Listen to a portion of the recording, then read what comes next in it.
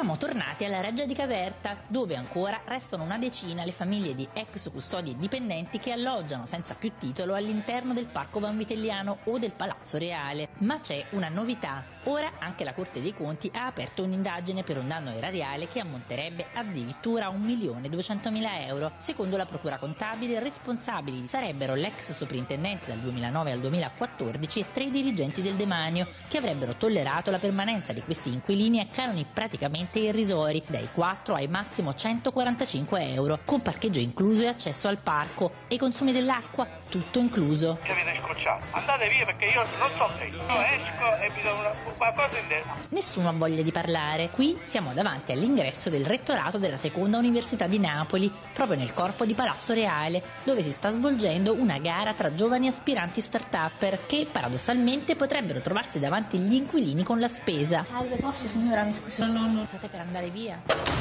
Questo invece è il cosiddetto villaggio dei Liparoti, su uno dei lati del giardino. Ecco uno degli altri appartamenti che a breve dovranno essere lasciati con tanto di calcio balilla e piantine all'ingresso. Qui c'è anche la sede della Società di Storia Patria che conserva testi e cimeli storici ed effettua attività di studi senza scopo di lucro, finita anch'essa nella bufera, 460 metri quadrati al prezzo di circa 80 euro al mese. Attenzione, eh, io oserei dire che è già sproporzionato rispetto alle nostre possibilità perché siamo un ente privatistico, sosteniamo spese con il contributo dei soci che non sono molti. E a difenderne l'operato infatti è lo stesso direttore della Reggia, Mauro Felicori. Noi non intendiamo affatto sfrattare, secondo me è anche giusto che loro non paghino un affitto, è uno di quegli enti che normalmente riceve degli incentivi addirittura.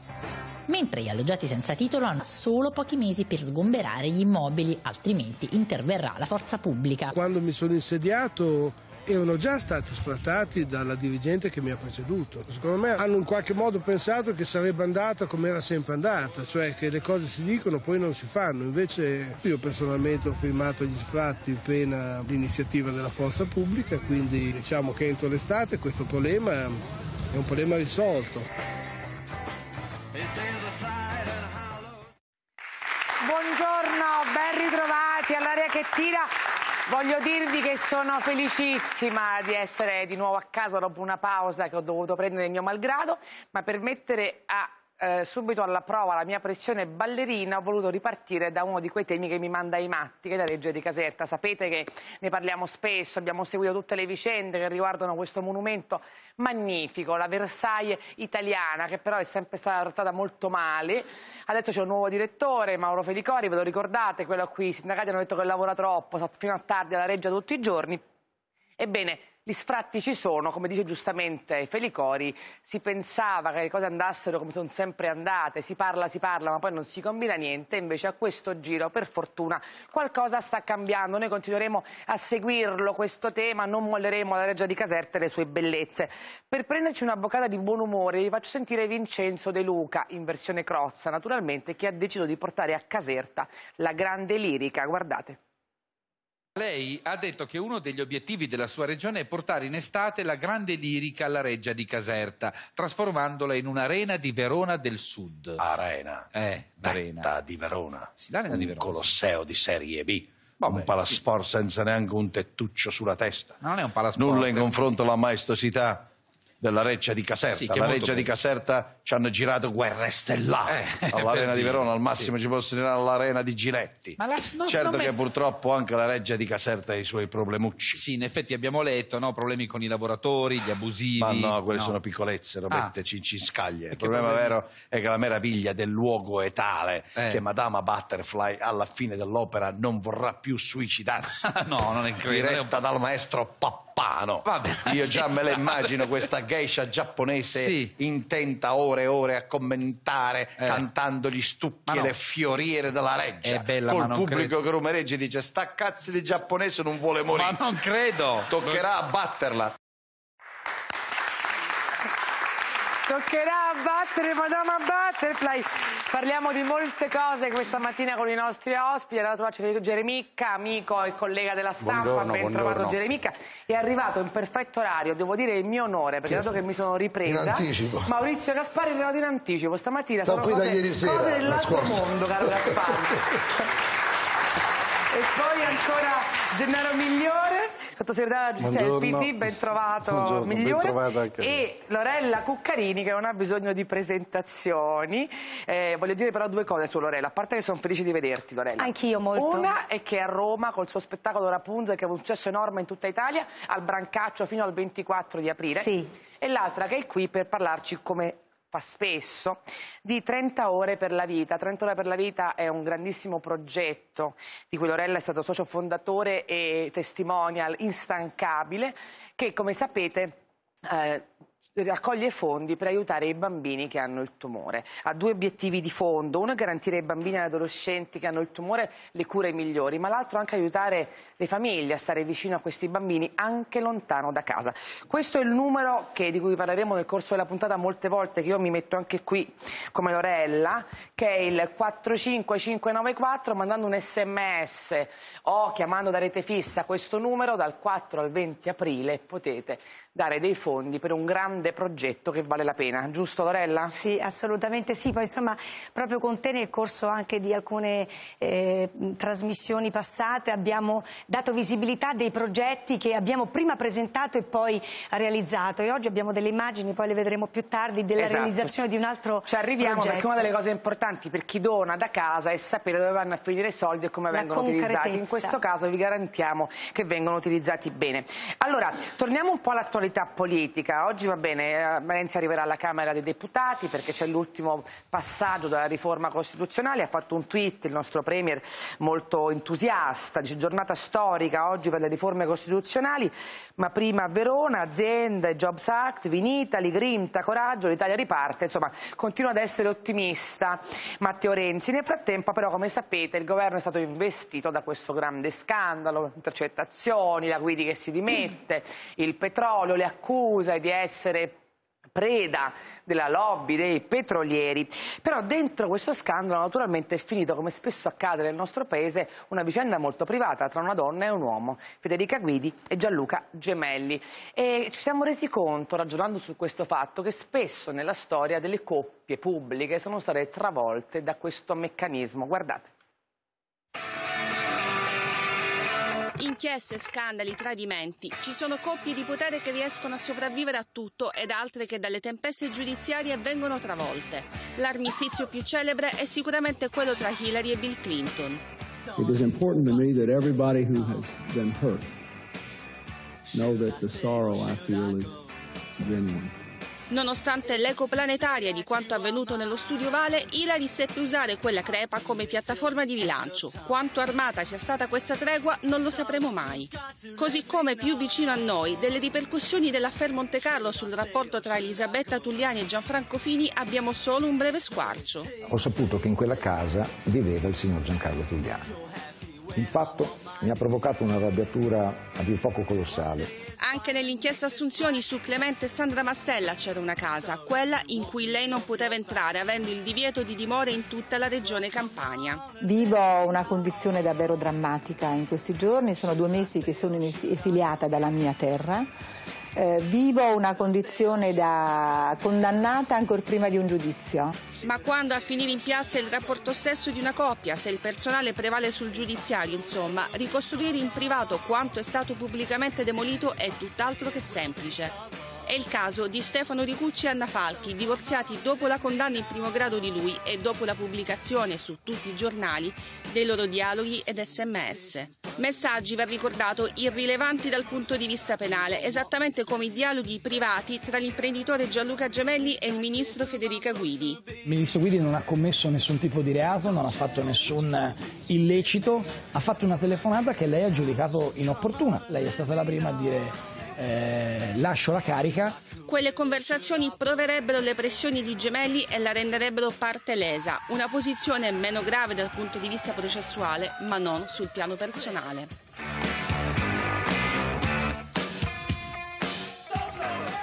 Allora, prima di commentare con i nostri ospiti, naturalmente sapete che questa vicenda ha preso una diciamo, una rilevanza politica molto grande perché Renzi ha parlato di intercettazioni, ha detto che voleva occuparsene, eh, in un primo momento sembrava volesse rimettere in mano la legge delle intercettazioni, poi in realtà ieri al TG5 ha detto no, non ci muoveremo, però, dice il Premier, io credo che i pettegolezzi e le faccende private non vadano eh, messi sui giornali. Sentiamo che ha detto al TG5 ieri sera Matteo Renzi e poi sentiamo il parere degli ospiti.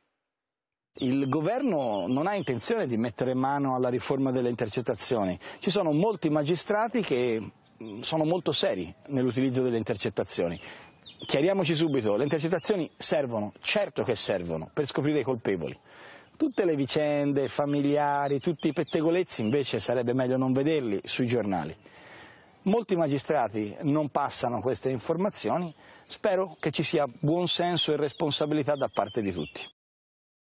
Allora, eh, voglio sentire subito Gasparri è migliore su questo tema. Che ne pensate? È una posizione di buonsenso quella di Renzi? Perché insomma Ma, molti hanno gridato al bavaglio naturalmente. Allora, bisogna fare una riforma delle intercettazioni. Noi ci abbiamo provato, non ci siamo riusciti perché la sinistra si è sempre opposta seguendo quello che dicevano alcuni settori politicizzati della magistratura. Mi ricordo che una volta, addirittura anni fa, in Groia, quando era ancora magistrato, fece addirittura un instant book, un libro, ci fu insomma una polemica accesa. Che ci siano degli eccessi è un dato di fatto, nessuno dice che si debbano abolire le intercettazioni.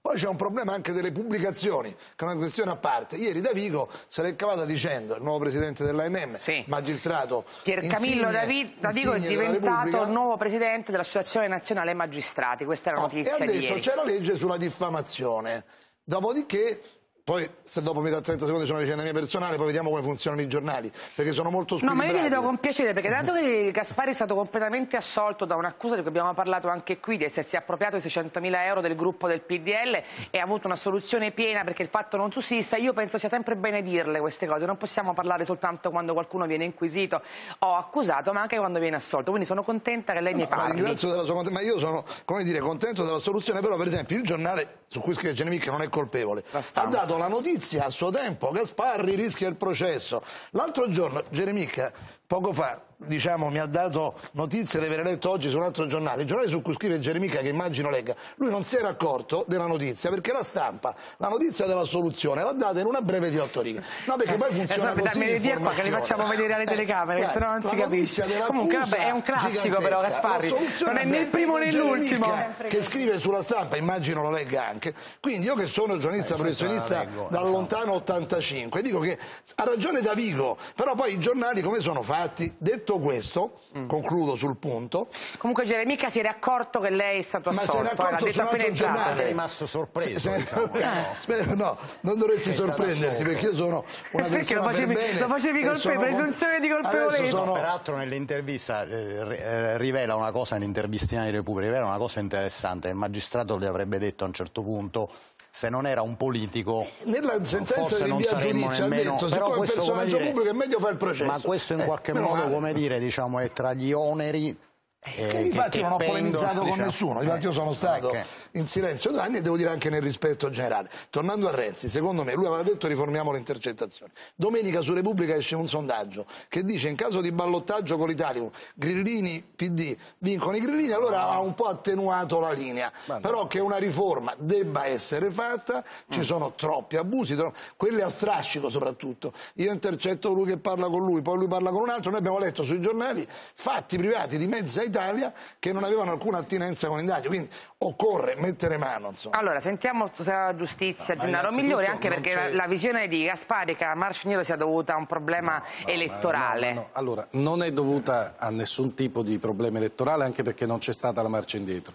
La disciplina sulle intercettazioni è contenuta in questo momento nel provvedimento che riguarda la riforma complessiva del processo penale e che cosa riguarda? Certamente non modifica la disciplina delle intercettazioni come strumento di indagine, ma in qualche modo diciamo, va a, mettere, eh, a uniformare quelli che sono i comportamenti già di alcune procure. Per esempio Roma, Compignatone, Torino, Napoli già hanno dato disposizioni di non annotare e quindi la difesa può sempre andare ad ascoltare gli audio certo. e quindi non è limitata in nessuna delle sue parti il diritto di difesa, però di non annotare, quindi non circolano carte, cose che sono immediatamente irrilevanti sul piano processuale, perché il punto è quale è diciamo così, la rilevanza di un fatto privato? Nessuna. Siccome già accade e sono insigni procuratori che fanno grandissime inchieste, voglio dire, sono anche, diciamo così, tra quelli più stimati rispetto all'ottenimento dei risultati nel perseguire reati, è chiaro che c'è bisogno di avere un elemento che possa eh, in qualche modo rendere più omogenea questa, questa condotta. È una questione di eh, diciamo, organizzazione degli allora, uffici, sentire... mi potrei me permettere di dire, cioè non si tratta in nessun caso di modificare la disciplina che riguarda le intercettazioni, anche perché in questo momento le intercettazioni vengono utilizzate anche per come prevenire no? i reati per questioni serissime, gravissime, come sono ovviamente l'associazione no, mafiosa piuttosto voglio che sentire un attimo sia Federico che Lorella su questo tema e cioè lui dice giustamente nessuna rilevanza penale. Molte delle telefonate tra la Guidi e il suo, il suo fidanzato compagno non so bene più cos'è perché in queste ultime settimane siamo passati dall'amico al quasi marito a boh non lo so. Beh, il padre del figlio eh, il padre del figlio, quello è sicuro l'unica certezza è che è il padre del figlio. Ebbene però è vero che non ha rilevanza penale però ci hanno dato uno spaccato su un ministro che fin dai primi tempi si diceva avesse una, un conflitto di interessi legato alla sua azienda, alla Ducati Energia, all'Enel, ma in realtà questo era un po' imprevedibile quello che legava il suo compagno, soprattutto viene fuori anche la fragilità di questo ministro, che forse è esattamente il punto su cui lei decide rapidissimamente di dimettersi. Quindi irrilevanti davvero? Mi Ma chiedo. Io, eh, intanto sono due questioni diverse, diciamo, la, la, figura della Guidi e come si è comportata e quel che è emerso, diciamo attorno anche diciamo, alla sua capacità di valutazione di quello che le accadeva intorno. E altra cosa è diciamo, la rilevanza penale delle, delle, intercettazioni. Io non credo che queste intercettazioni possano essere catalogate sotto la voce, diciamo, sono fatti di famiglia, cioè sono irrilevanti penalmente, perché è così impastato il rapporto tra i due, diciamo, di, di, di, tra virgolette affari. Tanto che lei stessa se ne lamenta sempre, se ne lamenta, utilizzi. Facendo... No, io sto parlando di quando il giudice ritiene che siano irrilevanti, non quando lo ritengo io, Gasparri o Geremicca. Quindi se c'è una disciplina che dice, cioè Pignatone... Però ci vorrebbe una legge, fa, non lasciarlo solo ai giudici, no? Quando eh. dice non ha notate le cose che sono immediatamente, è lui che lo decide. Cioè noi, non è che adesso stiamo parlando del caso Guidi, stiamo parlando Vabbè, di... Io, no, stavo, no, io però stavo rispondendo già a una domanda. Diciamo, no, no, no, figurati. Eh, per dire... Sono io no, l'ho trascinato del caso Guidi. Ah, insomma, parlava anche Fini prima, al rovescio, diciamo, la vicenda Tulliani-Fini era una vicenda, come dire, di carattere familiare, però, come dire aveva dei risvolti penali molto probabilmente. Allora che cosa si fa? Ci si ferma di fronte a una cosa così? Io penso che naturalmente molto è affidato, sarebbe affidato dire, al buonsenso e alla correttezza professionale dei magistrati e, e, anche, e anche, di noi non giornalisti. Quanto alla Guidi, a me diciamo col senno di poi e a testimonianza di quanto dire, la faziosità politica a volte dire, annebbia anche la capacità di analisi e di esprimere giudizi. Insomma, io mi ricordo che quando fu nominata la Guidi, le obiezioni che vennero fatte alla sua nomina era che era un regalo a Berlusconi, era come dire l'antefatto sì, di, di, quel, di, quel benedetto diciamo, patto del Nazareno che, che poi è finito come è finito, eccetera, eccetera. E, come dire, la sua nomina venne utilizzata come elemento di polemica e battaglia politica contro Renzi. Nessuno si, pose, nessuno si pose il problema di eventuali conflitti di interessi che potevano accompagnare una signora che è cresciuta nel mondo, ha avuto anche incarichi importanti. industriale è un'azienda di famiglia che comunque fa affari con lei perché è una grande azienda Naturalmente che... non c'è nessun reato, ha un'azienda di famiglia eccetera, i problemi possono cominciare quando va al governo per occuparsi precisamente delle stesse cose di prima. Naturalmente nessuno ha posto questo problema perché era più semplice porre la solita polemica politica, allora, ah, questo è Renzi che vuole bene un a attimo Lorella su una questione che anche un po' come dire da donna mi interessa, no? Perché noi diciamo sempre che le donne devono poter avere il potere, perché è una cosa anche certo, ipocrita certo. no? dire che le donne non possono toccare il potere.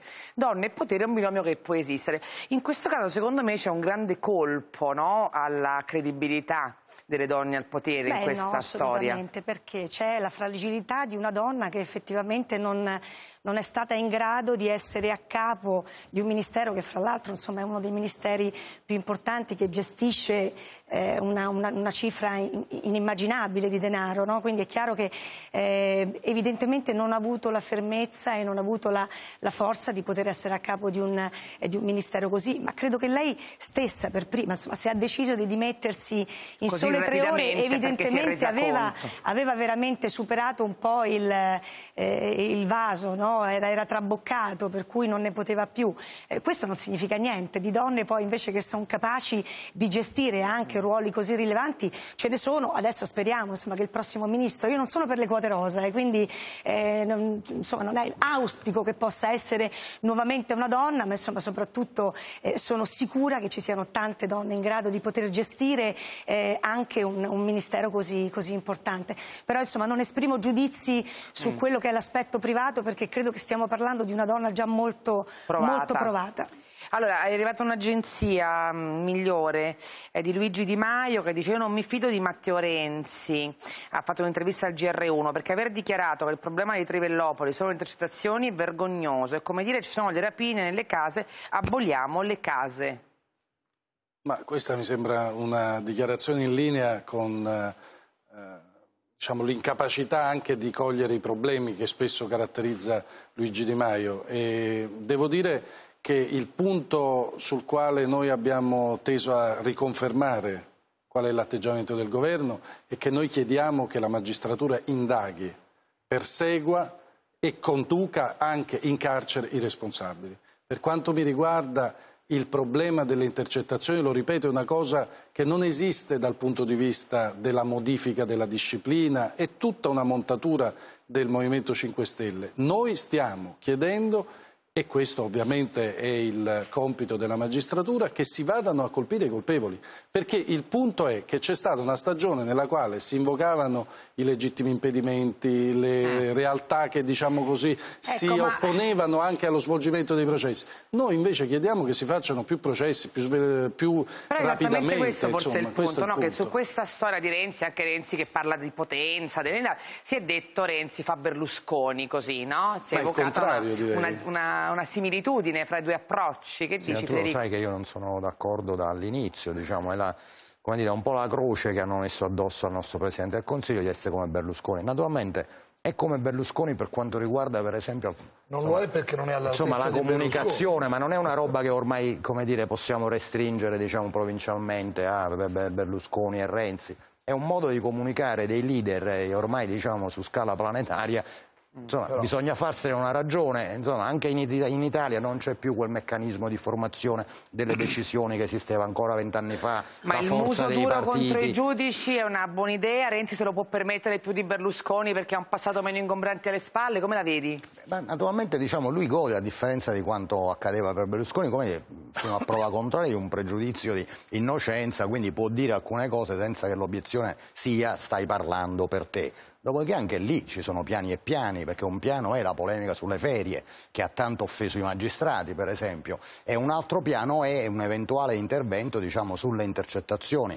L'intervento è smentito, ma secondo me già accreditare l'ipotesi di un intervento vuol dire essere vittime diciamo, di quel eh, parallelismo che io non condivido, cioè che Renzi e Berlusconi sono la stessa cosa. Questa è una cosa che no, dire, ha indotto, ha indotto, ha indotto in errore tante tema, persone. Diciamo. Dico, oggi per esempio no, su vari giornali, compreso la stampa, c'è il parallelo cosa dice la politica, cosa dicono i magistrati.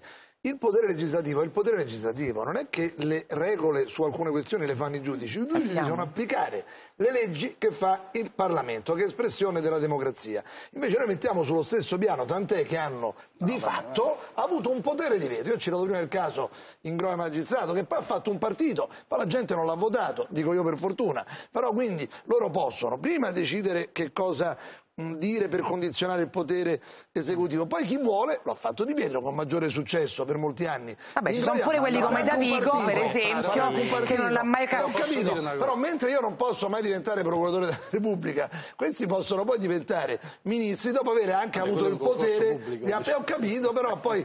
Eh, per, poi Migliore, arrivo un attimo, però devo fare una cosa, devo, devo far vedere una cosa a Gasparri, perché Prego. Gasparri quando viene qua dovete sapere, twitta moltissimo. Allora io per punizione adesso vi faccio vedere cosa ha fatto l'altro giorno Zoro, il suo programma, su, ha fatto una lezione sui social prendendo Non sul programma, l'ha fatto al Festival del giornalismo. Del giornalismo, sa tutto, Gasparri che angoscia. Va Io bene, vediamo, vediamo. E anche adesso stava twittando. Primo dicembre 2015 Gaspari scrive l'Italia potrebbe essere stata lasciata in pace perché è considerata un'area di passaggio e mi preoccupa molto l'area grigia. È vero che Giorgia Meloni è figlia della storia di destra e proprio per quello a suo tempo le chiesimo, le chiesimo la disponibilità. Staff. Gasparro Remoto che è una cosa che a scuola si studia, ripetete tutti quanti io chi, tu chi, egli chi è, non rispondete a sta domanda, non è una domanda. eh. Noi chiesimo, appunto, voi ecclesiaste, perché questo fa eccezione, e si chiorno, e si chiorno. L'esagerato livore di Angelino Alfano verso Forza Italia è indice di nervisusmo. Cerca una lista che non avrà martedì avrà meno da ridere. Spero che Matteralla, se sarà eletto, potrà sorprendere chi lo ritiene troppo ostile al centro-destra. Che fesserie tocca ascoltare facendo zapping in ufficio a? L'Islam ha dichiarato guerra all'Occidente. Attentatoti sono finti europei. Qua si parla di eroismo. Dice, ah, attentatoti sono gli attentatori di Toti. Abbiamo mostrato in aula alla Camera questo messaggio a Ban Ki-moon. Marò liberi subito. E hanno mostrato questo messaggio Italian Marines Free. Andre Pierini dice che tradotto viene Marò italiani gratis. Casomai si dice Free Italian Marines. Marò italiani gratis non è male. Però bisogna dire a discolpa che Twitter è l'unico social su cui non si può correggere, cioè si può correggere su Instagram, Sì, si può correggere su può capitare, Facebook, ha purtroppo su Twitter. ma Infatti forse ha ragione Lorella, Gaspari ha ragione Lorella, deve passare a Instagram, che tra No, l'altro forse anche i miei figli amano molto di perché a più. volte Guardi, magari il scappa 90% una... sono dei refusi, voglio dire, cioè, attentatoti invece che attentatori, ma impiccatemi, scritto attentatori, sbagliato, non credo. Mentre il famoso chiesimo era dello staff. L'abbiamo detto, lo dicemmo, lo dicemmo. Non chiediamo che, chi- che fine abbia fatto. eh, No, era una persona, la ha smesso volontariamente, poi lui conosce anche... Ah, eh, guardate che, guardate che ha fatto, che ha fatto Carli per Gasparri, guardi, guardi Gasparri, il nostro Che grafico cosa ha fatto per lei? Chiesimi, Chiesimi se sono felice. questo, chi aveva fatto? Chiedimi Chiedimi se sono felice. Chiedimi se sono felice. Sì, mi sa di sì. Allora, eh, vi porto a Via dei Giubonari, sede storica, storicissima del PC. Sono stati, credo, a Via dei Giubonari mi aiuterà a migliore, c'è stato Ingrao. Eh, Ma migliore è giovane. Vabbè, cioè, no, eh. beh, che c'entra, però è di sinistra. No, no, però Lui lo sa. No, perché sai che hanno successo, adesso le- la a Via dei Giubbonari c'è tuttora, questa è una cosa importante, un grande, eh, una grande presenza, un grande attivismo. Però la Infatti cosa è che una- voglio dirle io invece è che la vogliono sgomberare Eh, so, questa lo grande so, presenza. so. Tronca ha deciso di sgomberare il. PD, guardate.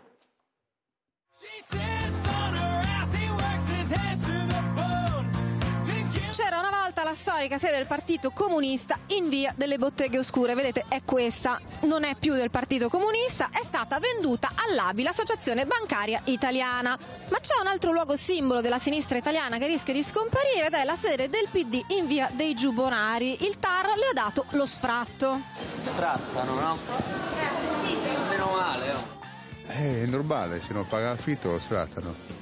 La notizia dello sgombero era arrivata dal commissario Tronca a dicembre dopo lo scandalo Affittopoli. Nella sezione, che è un pezzo di storia del PD, fino al 2008 il canone era di 100 euro al mese, poi salito a 1200, ma i democratici hanno continuato a versarne 100 accumulando un debito di quasi 170.000 euro. Non è questo il problema, noi eh, continuiamo, vogliamo pagare sia l'arretrato che questo per cortesia. Questo è il mantra, vogliamo pagare, vogliamo pagare. Noi comunque i soldi ce li avevamo. Fatto sta che al momento al comune, proprietario dell'immobile, sono stati dati come acconto 25.000 euro che per i mancanti si procede ad una colletta tra militanti. Di andare dati 25.000. E a me le sembrano poche, questa è una... Ci sono questi soldi, c'è anche un cartello con una colletta per farli. Sottoscrizione, qual è il problema? Ma la sentenza del TAR, sottolinea Urso, non è arrivata tanto per i debiti, ma perché dopo 70 anni la sede non risulta ancora titolare di alcun atto di concessione. In altre parole, sarebbero abusivi. Finita la concessione di un anno del 46, dal 47 noi non potevamo più stare qua. Per qualcuno le colpe sono da imputare al comune, che fino ad oggi si sarebbe disinteressato della faccenda. Io credo che qui ci stanno delle responsabilità da parte degli amministratori. Per altri la decisione ha un mandante politico. Oggi c'è Renzi lo devo a me, a quelli come me, ha capito che abbiamo fatto le lotte. Ma io ero una... Si sente un po' rottamato, uno di quelli che vogliono lottare. Eh certo, io sono uno di quelli, no? pure sta sede è rottamata, capito? Alla fine incontriamo anche Sabrina Alfonsi del PD e presidente del primo municipio, quello in cui si trova via dei Giubonari. Per evitare qualunque allusione o conflitto di interessi, io l'unica pratica di cui non mi sono proprio occupata è quella del Partito Democratico. E lei lo saprà, è presidente del primo municipio, siamo nel primo Dunque, municipio. lei vuole che io le dica che lo so? Vuole che io le dica una bugia? Vuole che le dica che ho visto il contratto? Non glielo dirò mai perché non è vero. Se stava meglio quando si stava peggio. Evviva grande Berlinguer! Ecco, quel grande Berlinguer. Avanti popolo, alla riscossa.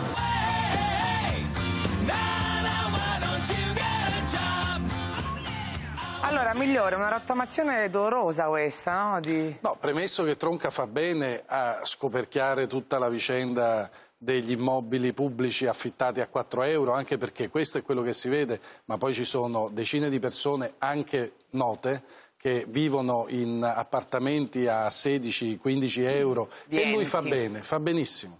Fa benissimo a intervenire perché è evidente che questo è un andazzo che andava interrotto, secondo me anche da prima. Io ho visto delle carte indecenti che sul centro storico non si possono guardare. Rispetto Perché a non questa pagano? vicenda, Perché vogliamo pagare, vogliamo pagare, ma qual è il No, punto? rispetto a questa Eh. vicenda invece è in corso una, eh, diciamo un- una contesa giudiziaria, anche perché io adesso non conosco la vicenda, però se è vero che l'amministrazione non ha mai regolarizzato il, il titolo di presenza in quella sede, e beh, forse la responsabilità sta anche da quell'altra parte. Siccome spesso, diciamo così, e sono sicuro che se c'è la disponibilità a saldare il pregresso, questo è sicuro che lo, lo fanno, perché c'è, tale- c'è un tale attaccamento, un'affezione a quella sede che è veramente precedente a qualsiasi altra sede del, eh, de- Mm. prima del PC e adesso del Partito Democratico, io penso che lo farà, però bisogna rispettare quelle che sono i- le procedure Il PD giudiziarie. potrebbe vedremo che farsene carico in quanto partito nazionale, il tesoriere Bonifazzi, per, Ma io per il credo che non ci motivo sia... di tenere No, no, no, un no. simbolo. No, io credo, io credo che ci sia innanzitutto la disponibilità dei militanti del primo municipio che sono al circolo di Vabbè. Giubbonari. Eh, Posso dire- Allora, quella storia della sede nasce, era una sede del partito fascista, ho letto anche questo sui giornali, quindi evidentemente nel clima, parlavano del 46 del dopoguerra, fu acquisita, diciamo... Sono storia del Partito Mi Comunista. fa- fammi finire. Comunque, dopodiché, uno dice, il primo anno c'è una guerra civile, eccetera, pazzi. Poi dopo sono passati 60 anni, un affitto va pagato. Se no, come ha detto quel signore, abbiamo ripristinato la democrazia, allora uno non paga No, l'affitto. Non è che pagare. quello è un merito. E Allora, siccome l'affitto è 1200 euro al mese, ho letto, ed è giustificato perché è una zona di centro storico, commerciale, vicino al Campo dei Fiori.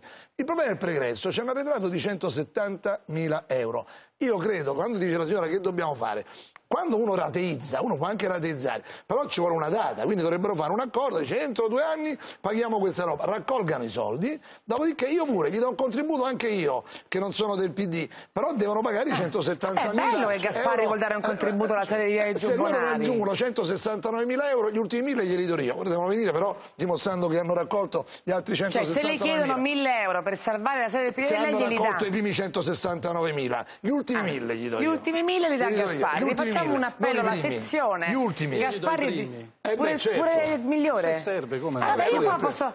Io, io e due Geremicca non diamo un euro. non 170. No, io e Geremicca non diamo un euro, però io, Io posso fatte, raccogliere no? i fondi per conto del PD se volete. Eh, pagare. di- dimmi una cosa, ehm, queste amministrative sono molto pericolose per Matteo Renzi? Adesso per esempio c'è Passera che a Milano dice voglio appoggiare Parisi perché non voglio che vinca Sala, insomma c'è la possibilità che nelle grandi città si prenda un bagno pazzesco? Eh, io direi di sì, insomma, diciamo. Eh, poi naturalmente ci sono delle città che hanno un valore simbolico più importante di altre.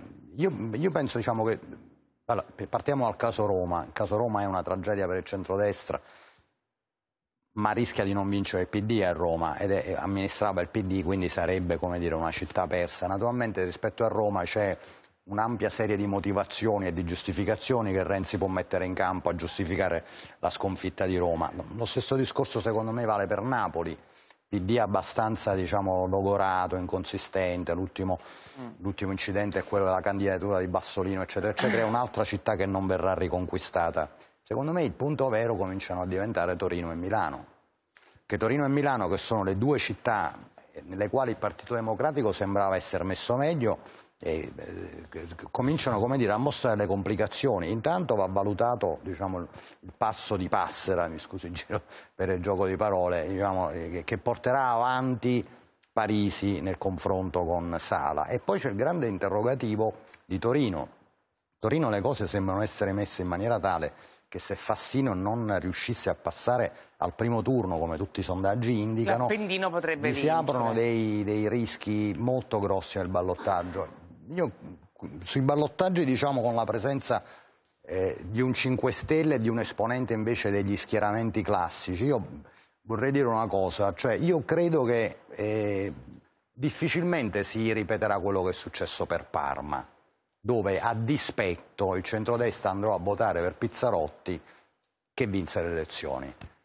Io credo che adesso diciamo, centrodestra e centrosinistra si faranno un po' i conti diciamo, su questi giochi a dispetto, cioè non, non, eh, come dire, rischiano di dare nuova energia ad un movimento sì. che è già molto alto.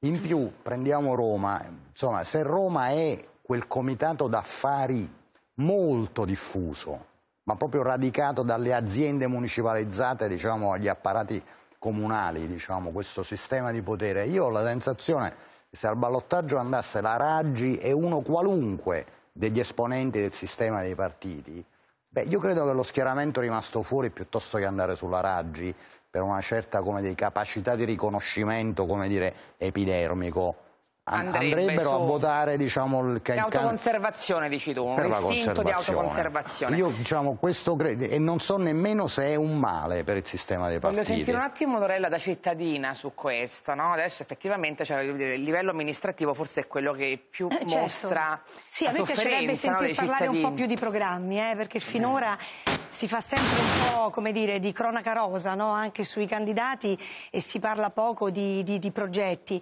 io vorrei sempre un po' su superare quelle che sono le logiche degli schieramenti. No? Penso che soprattutto eh, quando si parla di un'amministrazione locale contino veramente moltissimo i programmi. Infatti. Cioè Roma ha bisogno di risposte su di come gestire. Ha bisogno Roma. Eh, dico, ha bisogno di risposte su come gestire proprio tutte le problematiche a partire dalle strade, dalla, eh, da, da, da, dall'ATAC, per dall'AMA. conquistare il tuo voto a Roma cosa dovrebbero dirti? Faccio due punti? Beh, darmi delle soluzioni concrete. Io per esempio devo dire che fra tutte le interviste che mi è capitato di sentire, adesso non perché uno dice una donna, ma Virginia Raggi mi sembra comunque una donna, una donna in gamba che ha le idee molto chiare. Poi io non sarò una, una, cittadina che vota perché purtroppo sono vicinissima a Roma, ma faccio parte del comune di Formello, quindi non potrò partecipare alle, alle, amministrative. Però, però, ecco, se devo esprimere, no, per esempio, sì. un giudizio su quello che finora ho sentito. Ti è sembrato. Gaspari, viene Alfio Marchini stamattina qui a Verso Luna, che devo dirgli qualcosa, le chiedere... No, guarda, abbiamo avuto uno volete convergere su di lui? Volete, fare, volete che faccia un passo indietro? Io posso, posso riferire qualcosa? Io mi auguro che alla fine si arrivi a un unico candidato, perché vede,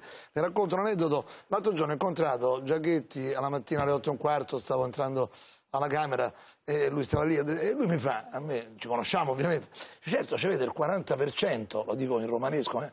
Dice, che state a fare? Perché faceva la somma dei vari candidati alternativi alla sinistra, quindi che sono la Meloni, Bertolaso, Bertolaso eh, Marchini, Marchini e anche Storace. Storace. E gli ho detto, te stiamo a fare un favore, perché da un lato tu potresti avere più chance di ballottaggio e poi ti potremmo fare un danno, perché se diventi sindaco, mica lo so.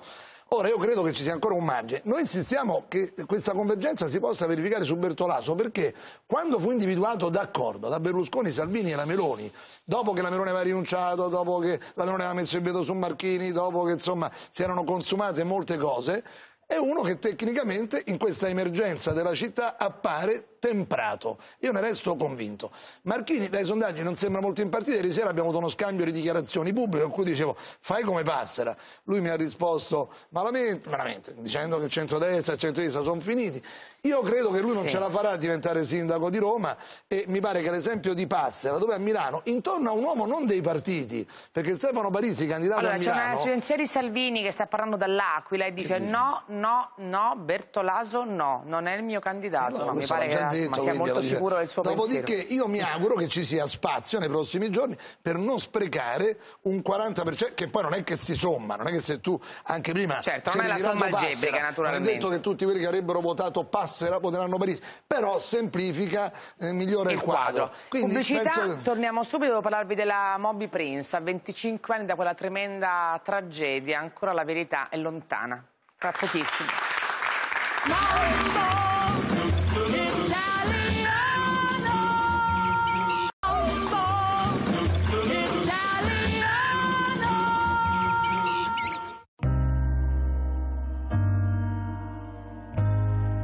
Non sapevamo che loro erano in nave perché dovevano fare la sorpresa, dovevano partire il sabato, invece hanno anticipato, sono partiti il mercoledì. Quel mercoledì era il 10 aprile del 1991, era il giorno della più grande tragedia del mare in tempo di pace. Il traghetto Moby Prince parte da Livorno e punta la prua verso Olbia. Portamare Livorno, Portamare Livorno, notte. A due miglia dal porto toscano, Moby Prince si scontra con la petroliera Agip Abruzzo. Scoppia un incendio, i soccorsi non partono subito, muoiono in 140. Anche il fratello e la cognata di Maria Furcas, 33 e 29 anni.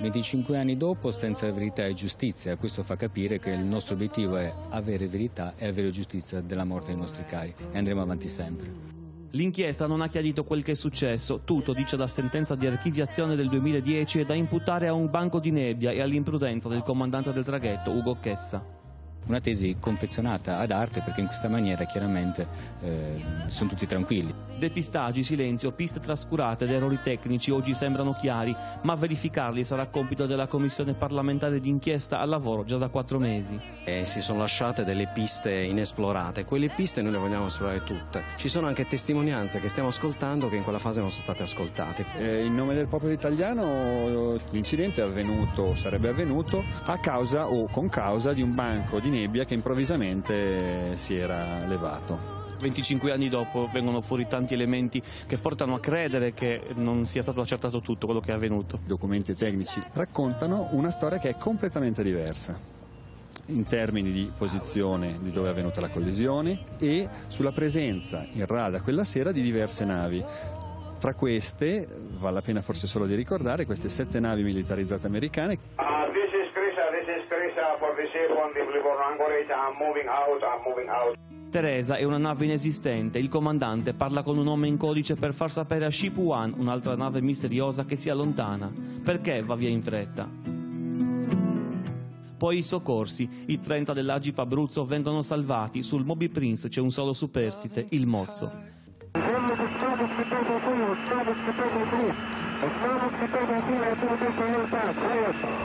Perché non li hanno soccorsi? Hanno soccorso la nave, l'Agip Abruzzo, non hanno soccorso la nave passeggeri. When it gets hard, you know it can get hard. Allora, ieri erano 25 anni da quel 10 aprile del 91, dal momento in cui appunto ci fu questo scontro terribile, morirono 140 persone dentro la Moby Prince. Come spesso purtroppo accade nel nostro paese, la verità è ancora lontana. Quattro mesi fa è stata costituita una commissione di inchiesta, ma ancora la vicenda è molto difficile da decifrare. Eh, eppure c'è gente la cui vita è stata distrutta da quella tragedia. Con me qui c'è Luchino Chessa, che è un medico, un professore universitario di Cagliari, ma soprattutto è il figlio di Ugo Chessa, che era il comandante del traghetto Moby Prince. E eh, a bordo di quella nave con eh, il papà di Luchino Chessa c'era anche sua madre, quindi eh, voi avete avuto un lutto spaventoso perché entrambi i vostri genitori sono morti in quella tragedia. Lei ha fondato un'associazione che si chiama 10 aprile proprio con l'obiettivo di arrivare alla verità. La prima domanda che le faccio è com'è possibile che dopo 25 anni ancora non si riesce a mettere un punto fermo secondo lei su una vicenda come questa? No. Buongiorno innanzitutto. Buongiorno. Purtroppo il punto fermo è stato messo dalle sentenze delle sentenze che hanno banalizzato il tutto come un incidente, un incidente a causa della nebbia, a causa del, della velocità del traghetto, a causa della distrazione, della superficialità del comando del traghetto. Per cui eh, purtroppo il punto fermo è stato messo eh, allora, è stato messo nel 96, è stato messo successivamente alla chiusura delle nuove indagini che noi abbiamo richiesto nel 2010. Come si fa oggi a modificare questo punto fermo? Si sta lavorando su questo, eh, abbiamo portato avanti tutta una serie di, eh, di studi, di, un lavoro tecnico di rielaborazione delle carte processuali, eh, senza dover fare cose particolari, rivedere tutte le carte processuali e, e, da lì si è visto tutta una serie di cose che non andavano, completamente diverse rispetto a quello che è stato descritto nel... Cioè voi volete che si riapra il processo, se capisco bene? Chiaro che quello sarebbe il massimo, però intanto la cosa buona è che si sia partita con una commissione d'inchiesta una commissione parlamentare d'inchiesta che sta cominciando a lavorare e, fa, e, dando anche dei frutti. Luchino, quanti anni aveva quando è successa? 30 anni. 30. E lei ha un fratello? Sì, un fratello Angelo che ne ha 6 meno di me. E voi avete praticamente tutta la vostra vita provato a arrivare ad una verità, no? Beh, pensate. Questo sono 25 anni, un quarto di secolo che stiamo dietro questa, questa, vicenda, anche perché dobbiamo tutelare intanto il nome di nostro padre, che era il comandante del traghetto, ma diventa anche una questione di, di, di, di atto di democrazia per un paese che, secondo me, deve a, arrivare in fondo su certe storie. Non ecco, è questo è un tema molto importante, ne voglio parlare anche con Filippo Nogarin, sindaco di Livorno, lo ringrazio di essere venuto qui oggi a Grazie parlare a di, questo, di questa tragedia. Secondo me ha molta ragione Luchino Chessa quando dice è abbastanza incredibile che in Italia non si riesce mai ad arrivare alla, verità. Le commissioni d'inchiesta durano dei decenni, è come se si facesse fatica eh, ad avere una mh, memoria condivisa su alcune cose, no?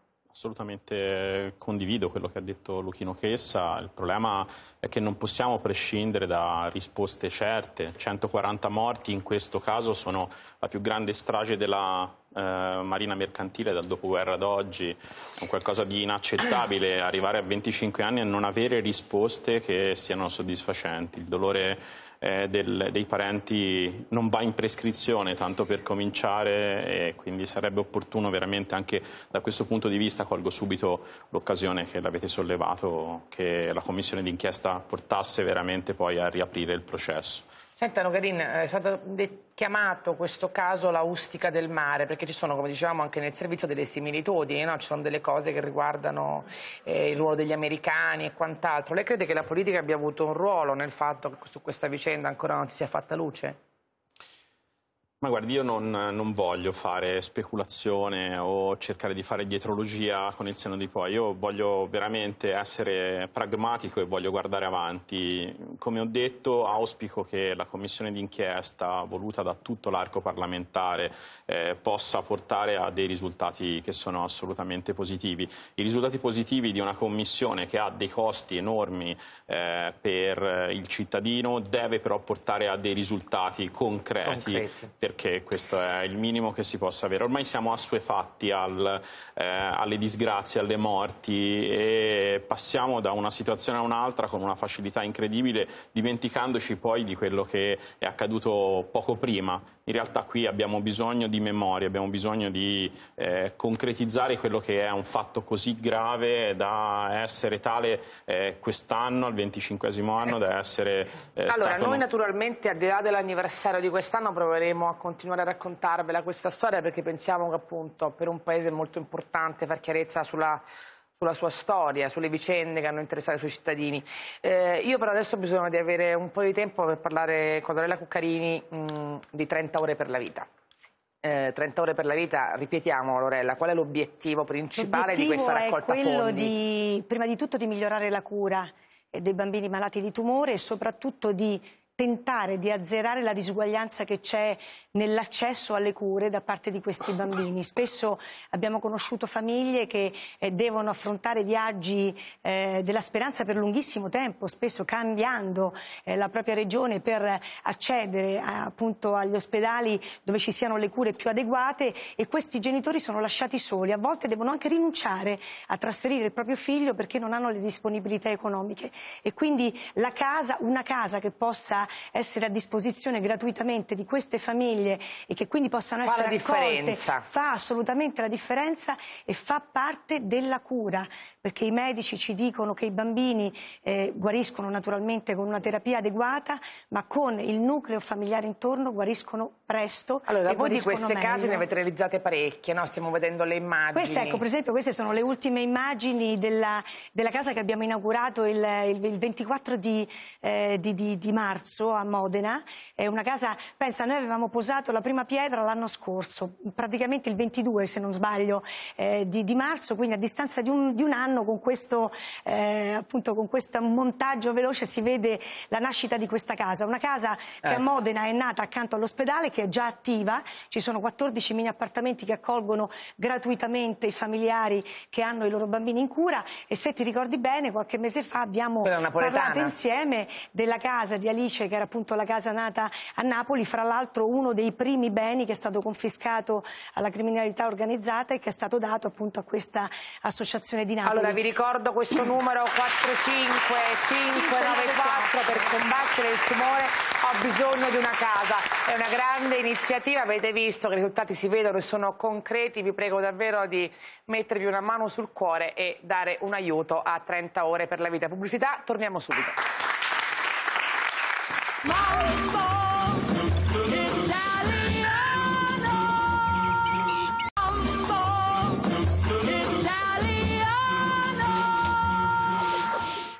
11.59, come sempre ci colleghiamo con tutti della 7, c'è con noi Luca Speciale. Ciao Luca, ben trovato, che notizie abbiamo quest'oggi?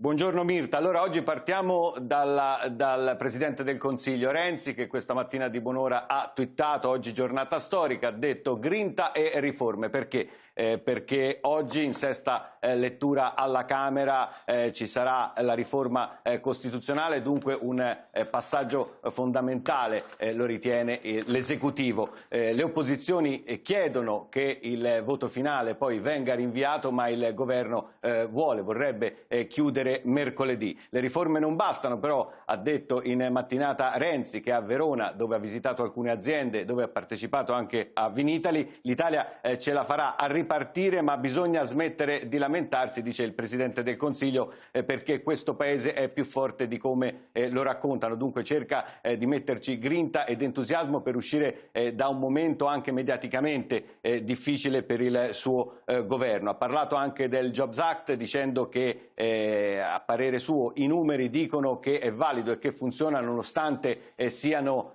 diminuiti in questa fase gli incentivi per chi assume. Renzi che deve dividersi anche con la lettura eh, di numeri sempre eh, difficili da interpretare come quelli eh, sulla crescita. Oggi sono arrivati quelli sulla produzione industriale che eh, cala ancora una volta nel mese, cioè meno 0,6% rispetto a febbraio, rispetto a gennaio, eh, ma continua a crescere nel rapporto con eh, l'anno passato del 1,2%. E poi eh, c'è il caso intercettazioni, dopo che eh, proprio Renzi ha ribadito che il governo non intende mettere mano a una riforma eh, delle intercettazioni, ma ha invocato anche eh, a buon senso e responsabilità i giudici perché eh, ha chiesto di non vedere eh, vicende familiari e pettegolezzi sui giornali. Intanto Mirta, oggi il Consiglio d'Europa è tornato a bacchettare l'Italia, lo ha fatto in merito alla difficoltà che riscontrano tante donne italiane che vogliono accedere all'interruzione di gravidanza, dunque all'aborto, nonostante appunto quello eh, che eh, dice la legge 194.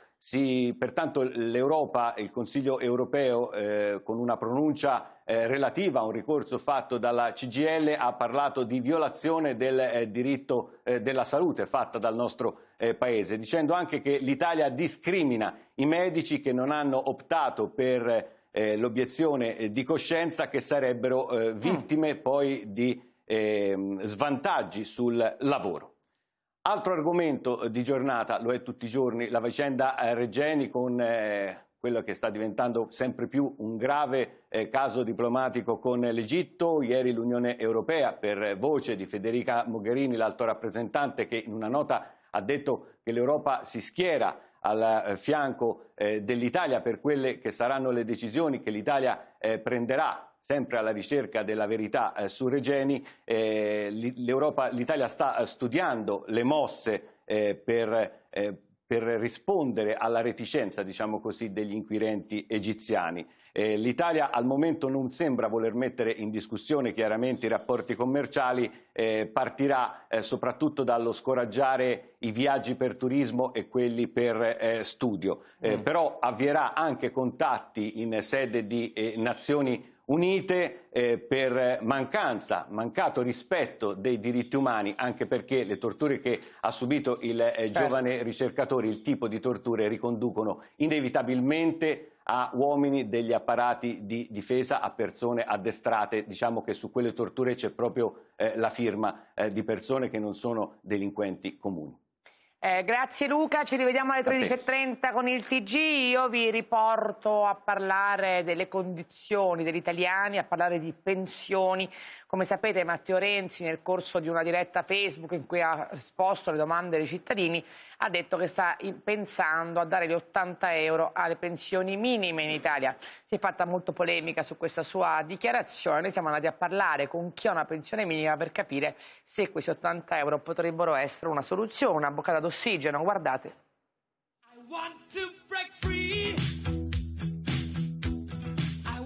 Gli 80 euro in più al mese cosa vorrebbero dire per lei? Vorrebbero dire tutte quelle medicine che ci fanno comprare. Un aiuto immenso.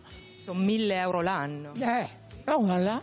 Per ora il governo Renzi l'ha solo annunciato, un bonus da 80 euro ai pensionati con la minima. Adriana è una di loro, fa parte di quei 2 milioni di italiani con un assegno sotto i 500 euro, persone abituate a rinunciare a tutto, a iniziare dalla spesa di ogni giorno. Eh, non compro questi, non compro questi. Ogni tanto facciamo un colpo di testa, eh.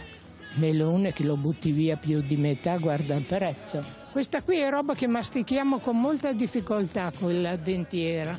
Siamo tutti portati sull'insalata, questa qui ma è troppo cara. Questo è un angolo che abbiamo creato con delle offerte praticamente prevalentemente per i pensionati. Hanno il conto di tutto. Ha 83 anni Adriana, con lei c'è la cognata Luisa, entrambe pensioni minime. Non usciamo più a mangiare neanche una pizza, neanche si fa per dire il giorno di Pasqua. Abbiamo eliminato subito, subito la macchina. Noi ci arrangiamo in casa per i capelli, ci tingiamo i capelli. Questi sono i bigotini. Abbiamo imparato a montarceli da soli. Oh, sono anni che non ci comperiamo vestiti, eh? Lei, mia cognata, è dimagrita e mi passa la, la roba e io me la metto tutta. A chi dice che l'aumento sarebbe un regalo a chi ha pagato pochi contributi, Adriana risponde così. Non sapevo neanche cosa volesse dire la parola contributi cominciato da ragazzina che ti mandavano a fare la sarta, andavi a imparare e basta, era già molto quello che ti davano. Comunque il bonus è solo un'ipotesi. Dal governo avvertono che prima bisogna guardare bene i conti, come fanno i pensionati tutti i mesi. Quando c'era ancora la lira, avevamo l'aumento di 2 o 3 mila lire. Dal 2000 in poi niente. Noi siamo fortunati che abbiamo già la casa, perché se avessimo l'affitto saremmo in una camera sola. Dovrebbero togliere un pochino a chi ne ha di più, che non se le godano neanche tutti, che non ci riescono, e lasciare vivere un po' più le persone normali. Allora, questo è uno spaccato dell'Italia, no? l'angolo per i pensionati al supermercato, una signora che ha 500 euro di pensione e per lei quegli 80 euro valgono il 15% di quello che prende di pensione, quindi non sono qualcosa da poco. E poi anche quello che racconta la signora Adriana, no? a 14 anni ha cominciato a fare la sarta, non sapevo neanche cosa fossero i contributi. Devo dire che anche i giovani di oggi sanno poco cosa sono i contributi, purtroppo. Eh, ne parliamo stamattina con Paolo Crepè, psichiatra, ben trovato, benvenuto Crepè. È rimasto con noi Maurizio Gasparri, vicepresidente del Senato, Buongiorno lo ringrazio. E allora trovaci Fabrizio Rondolino, giornalista e scrittore, una delle firme di Buongiorno. spicco dell'Unità. Ciao Fabrizio, ben trovato.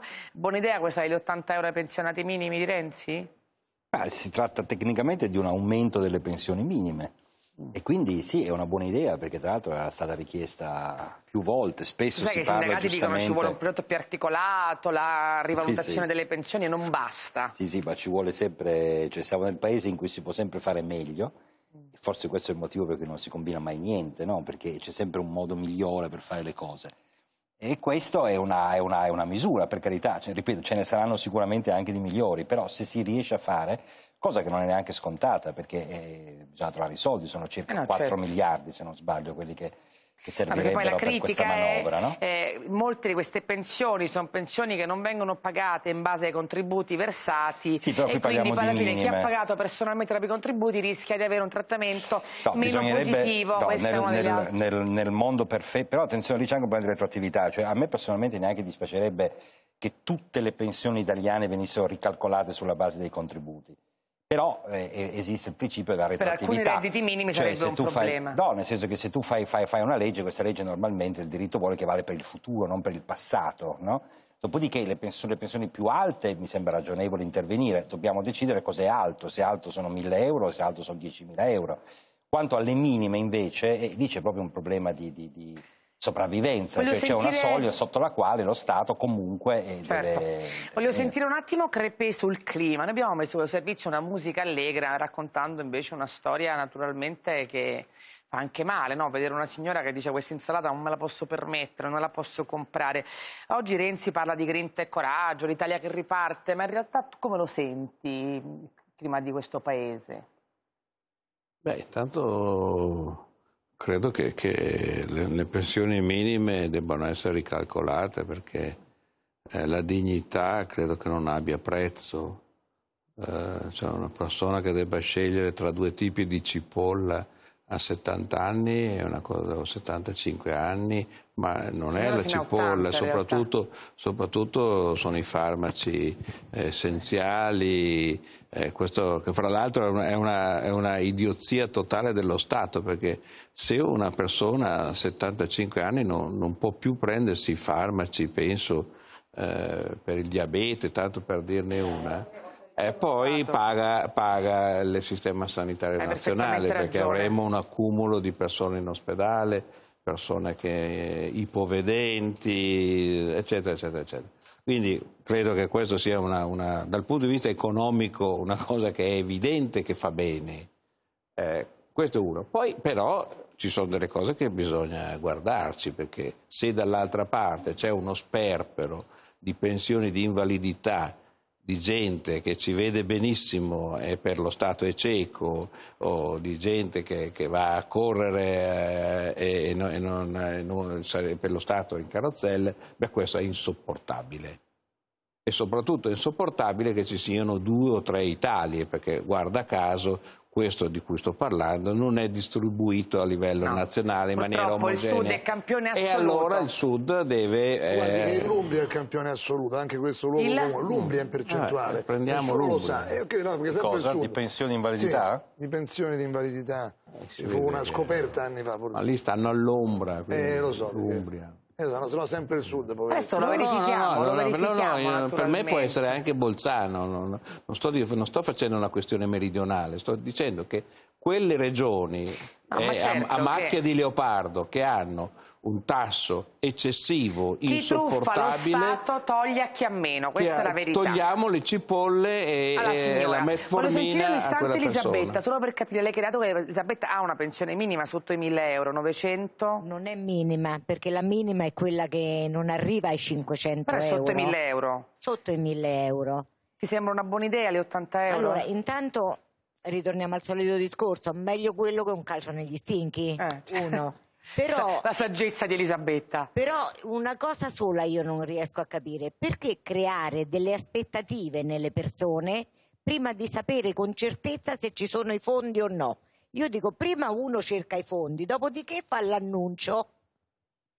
Mm. Eh, Allora, posso- dice Elisabetta è un'uscita un po' posso elettorale. qui, appunto, Renzi fa queste uscite preelettorali, si va verso amministrative delicate, si crea l'aspettativa, poi si farà, non si farà, ne avremo quelli, ne avremo quell'altro. Poi già oggi, se si vede nei giornali, si prospettano la cancellazione di alcuni benefici fiscali, quindi casomai tu dai 80 euro però levi alcune detrazioni, ce ne sono troppe, forse, però noi nella vicenda precedente del governo di centrodestra facemmo un'operazione per una ampia fascia di italiani, di adeguamento ai famosi 516 euro mensili, che era il milione di vecchie lire, per quelle pensioni che erano sotto quella cifra. Oggi uno standard di 1000 euro dovrebbe essere esteso a vari, quindi ha ragione il professor Chebre quando dice che va fatta una rivalutazione delle minime. Poi ci sono le aree di furbizia, poi la vecchia politica, prima ho citato il caso dell'Umbria, però non c'è dubbio che in alcune aree del paese lo scambio, tu non hai sviluppo economico, però ti largheggio, era una forma di assistenza sociale che ha, come dire, beneficiato alcune parti del paese. Però Se non riesco a creare lavoro già... vi do un po' di sussidi. Eh, do un po' di sussidi, quindi pure quelli che l'hanno avuto sono dei furbi, però spesso era quasi un'alternativa ad altre, casomai ti metto uh, ad Augusta la chimica che inquina un po' di più che dalle altre parti non la vogliono, te la metto a Ottana in Sardegna e poi in cambio c'è stata un po' una politica sbagliata ai danni anche del Sud. Detto questo andava fatto l'adeguamento degli 80 euro ai pensionati da prima. Noi dicemmo quando si fecero gli 80 euro ai lavoratori dipendenti perché escludere i pensionati che sono quelli che poi hanno il dilemma tra il prezzo di due tipi di cipolle spesso e quindi come dire... Eh, quindi andavano... se lo fa lei è contento? Ma se lo fa per tutti i pensionati sono contento. Noi facciamo un discorso di adeguamento più ampio delle pensioni minime. Ad esempio, io le farei un discorso. Se quelli che hanno fatto la pensione per il minimo di tempo, c'era una volta no, con 15 anni, 6 mesi un giorno, un giorno quindi c'è gente che è andata in pensione a 40 anni e lì forse Mm. ci penserei. Allora, è scoppiata una piccola polemica su Twitter perché Roberto Giachetti, il candidato del PD per Roma, ha non sono detto che ha chiesto all'attrice Claudia Gerini il ruolo di testi- fare il testimonial per il recupero delle opere incompiute a Roma. Virginia Raggi gli ha risposto, c'è chi cerca testimonial per opere incompiute, ma unico vero testimonial del disastro a Roma è il PD che ha governato per 20 anni. A quel punto Giachetti dice lo sponsor di Raggi dà la comunione coi grilli, lo sponsor di Meloni dà del venduto a Mattarella, Roma merita di meglio. Bertolaso. Facendo rifer- Bertolaso, Scuso, dici? eh Eh, fa campagna elettorale per Bertolaso, secondo Gasparri, in realtà fa riferimento a due, a due cose che sono successe, cioè Grillo nel suo spettacolo ha fatto questa cosa un po' blasfema di fare la comunione ai suoi parlamentari con dei, non ho capito bene se sono veramente dei Dei grilli grilli essiccati. canditi pare che fossero. No, grilli pare che canditi. fossero grilli veri. sì. Grilli veri, perché la povera Grilli. Appendino ha detto sono Ma incinta, non vorrei prenderlo il grillo. l'Unione Europea ha stabilito che li possiamo ce l'abbiamo mangiare. quel filmatino? Quindi, Grillo è un ante- L'europeista È Grillo. un alfiere dell'OUE. Vabbè, se L'europeista lo, lo Grillo. troviamo lo mettiamo e, e invece Salvini come ben sapete ha dato del venduto e del che altro venduto è? Dell'ubriaco. dell'ubriaco, del complice se non è venduto ubriaco. a Mattarella che si era permesso solo di dire che il fatto che il nostro vino venga venduto in tutta Italia è un bel segnale Allora, perché vuol dire che l'Italia Russia, allora. senza le frontiere va meglio. E lui ha capito male e ha fatto questo, questo post che adesso vedete se l'ho detto da, Sob- se l'ho detto da Sobbio complice e venduto. Va bene questo dovevo aggiornarvi perché sta succedendo in questo momento. Vi porto a parlare di un altro tema che riguarda sempre però gli italiani il clima la fiducia Sapete che le banche in questo momento sono un luogo a rischio, almeno così sono considerati da molti risparmiatori, a cui sono capitate brutte storie con le banche. C'era qualcosa che nell'immaginario di tutti era veramente il posto sicuro per eccellenza, le poste. Metto soldi alle poste e sto veramente tranquillo. Ebbene, in un piccolo paese, a Nievole, frazione di Montecatini Terme, un- in Toscana, un simpatico dipendente delle poste ha pensato bene di rubare, di portare via a dei poverini che avevano messo lì i loro piccoli risparmi la bellezza di 6 milioni di euro. Guardate. In casa mia è stato fatto un ammanco di oltre 50.000 euro. Mio suocero l'aveva addirittura levati dalla banca per metterli alla posta. Grande fregatura. Siamo a Nievole, frazione di Montecatini qui, in questo piccolo ufficio postale, sono spariti i soldi di decine di risparmiatori e a portarseli via sarebbe stato proprio il postino. 6 milioni di euro in totale di buoni, polizze assicurative, libretti postali, tutti azzerati, sui quali sta indagando ora la procura. Nel mirino un unico nome, quello di Francesco Polizzi, per tutti Franco, unico dipendente dell'ufficio, nonché ex consigliere comunale della zona. Si era inserito benissimo nel paese, nelle- in tutte queste... eh, insomma, era uno di noi. gentile, prestevole, tutto quanto. E anche il dipendente ora sembra sparito nel nulla, tanto che nel paese di 350 abitanti sono comparsi questi manifesti. Nelle mani dei cittadini rimangono soltanto delle ricevute false. Quando mio marito è andato a a vedere che interesse ci aveva. Gliene ha messo su un, un, scritti a mano con la matita. Mio marito è tornato e mi ha detto e andiamo un mese al mare gratis dall'interesse che ci danno. Però i documenti erano quelli delle poste. Abbiamo provato a entrare nel piccolo ufficio dove il dipendente ora non lavora più, ma la porta c'è stata chiusa a chiave, nessuno vuole parlare.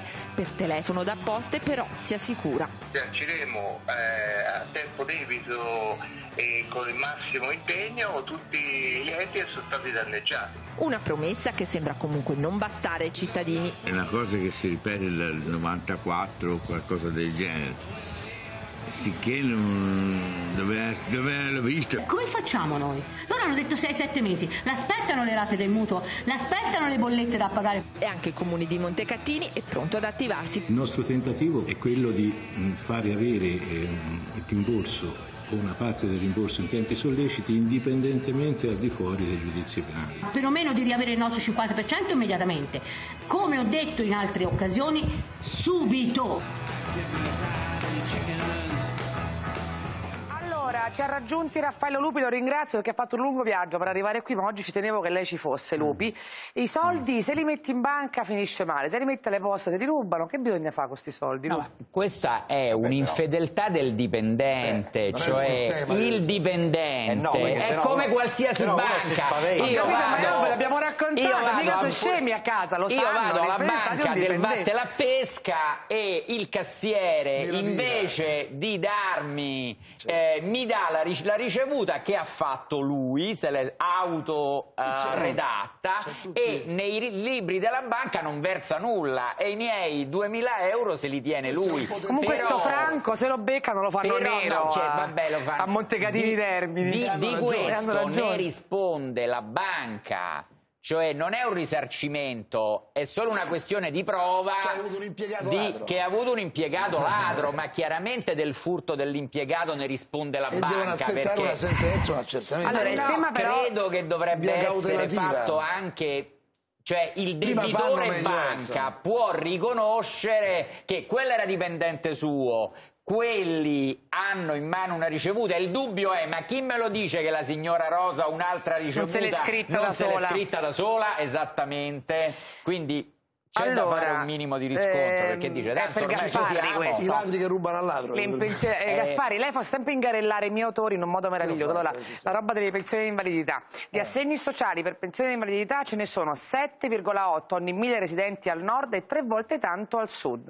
Eh. No, ma io dicevo che in Umbria in percentuale alla popolazione, veda un po', cioè in Umbria è un dato alto, sì aspetta, è chiaro che al sud in sono di testa più. ci sono Calabria mica... 101 oh, per 1000, Campania e Sicilia 97, in fondo troviamo Emilia Romagna. che in Umbria in percentuale alla popolazione bene, era molto allora, alto, quindi mica ho detto che il sud, anzi ho dato anche una lettura il problema sociale. riguarda l'ordine dei medici. Ogni volta Gasparri non è che riguarda solo la, lo Stato. verificano, è la controlliamo anche l'Umbria. La Voglio dire che riguarda anche l'ordine dei medici, perché chi certifica è certo. un medico allora, siccome il medico è eh, rintracciabile, eh, se un Bravo, signore sono con te. Gua, gua, eh, la differenza sarebbe questa cominciamo sì. a mettere ma infatti eh, avevano beccato quest'ultimo uno degli ultimi scandali sulle pensioni taroccate c'era il medico che faceva parte della, della cricca riceveva eh, ma mille euro di cambio di una quel mio collega lì che allora, fine fa?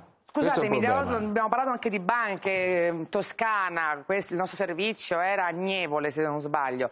Eh, sapete che su Banca Etruria c'è stata invece una questione molto complicata che è diventata anche il peccato originale di questo governo e ha messo nei guai il ministro Boschi, che però Renzi continua a difendere strenuamente, tanto che Crozza ne ha fatto una ballata, guardate. Matteo, vuoi che mi dimetta? No, Maria Elena. Io ti difendo sempre. Cosa fa?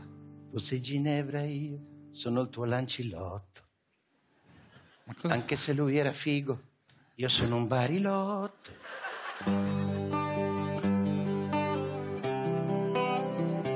Forza fattevi sotto.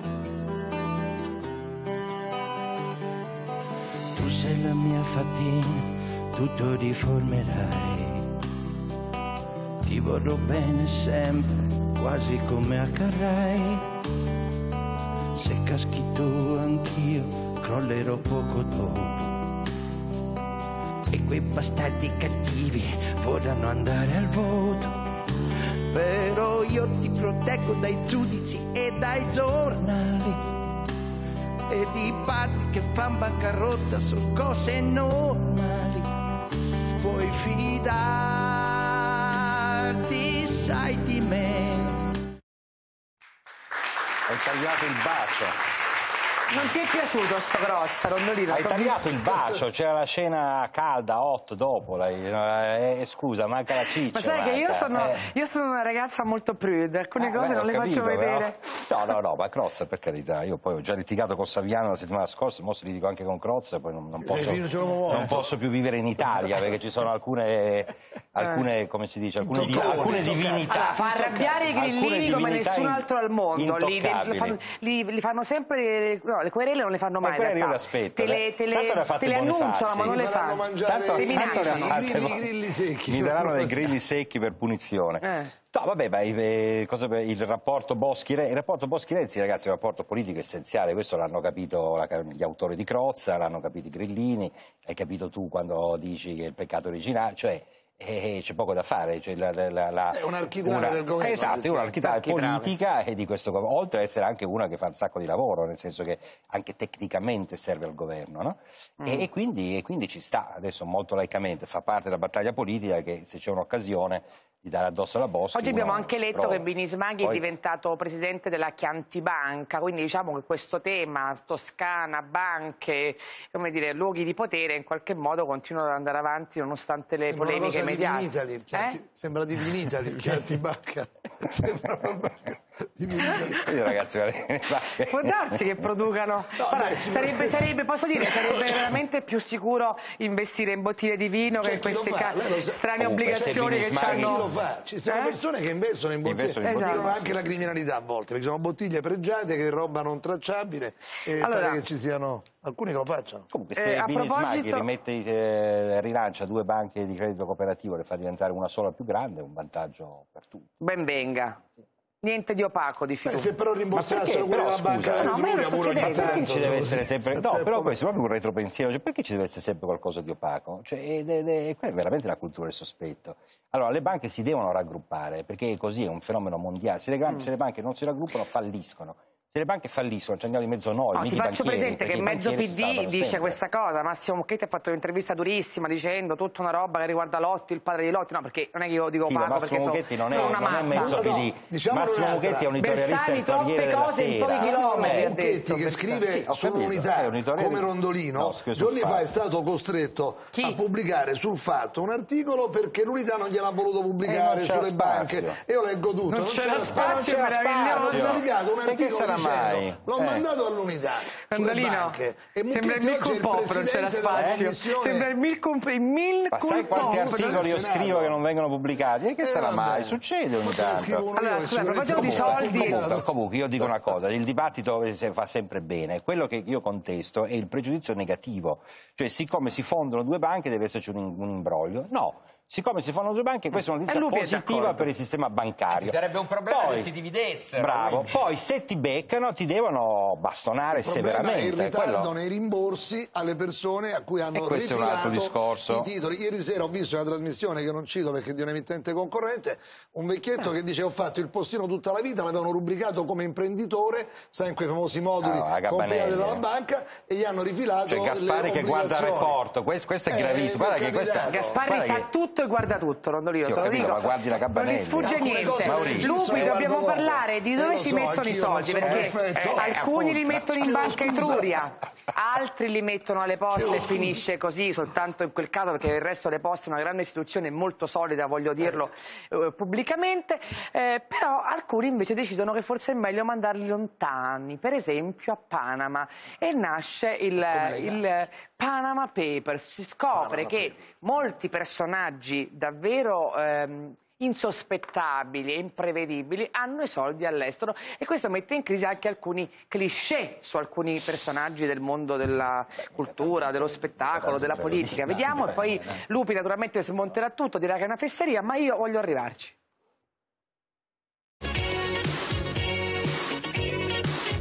Banda anomala dei Panama Papers ha investito 140 politici e uomini di Stato, un inciampo sulla coerenza che mette a rischio molte leadership, trasmentite, querele, evocazioni di complotti e stupito candore. Se non lo fai per evadere, allora perché nascondi i soldi all'estero?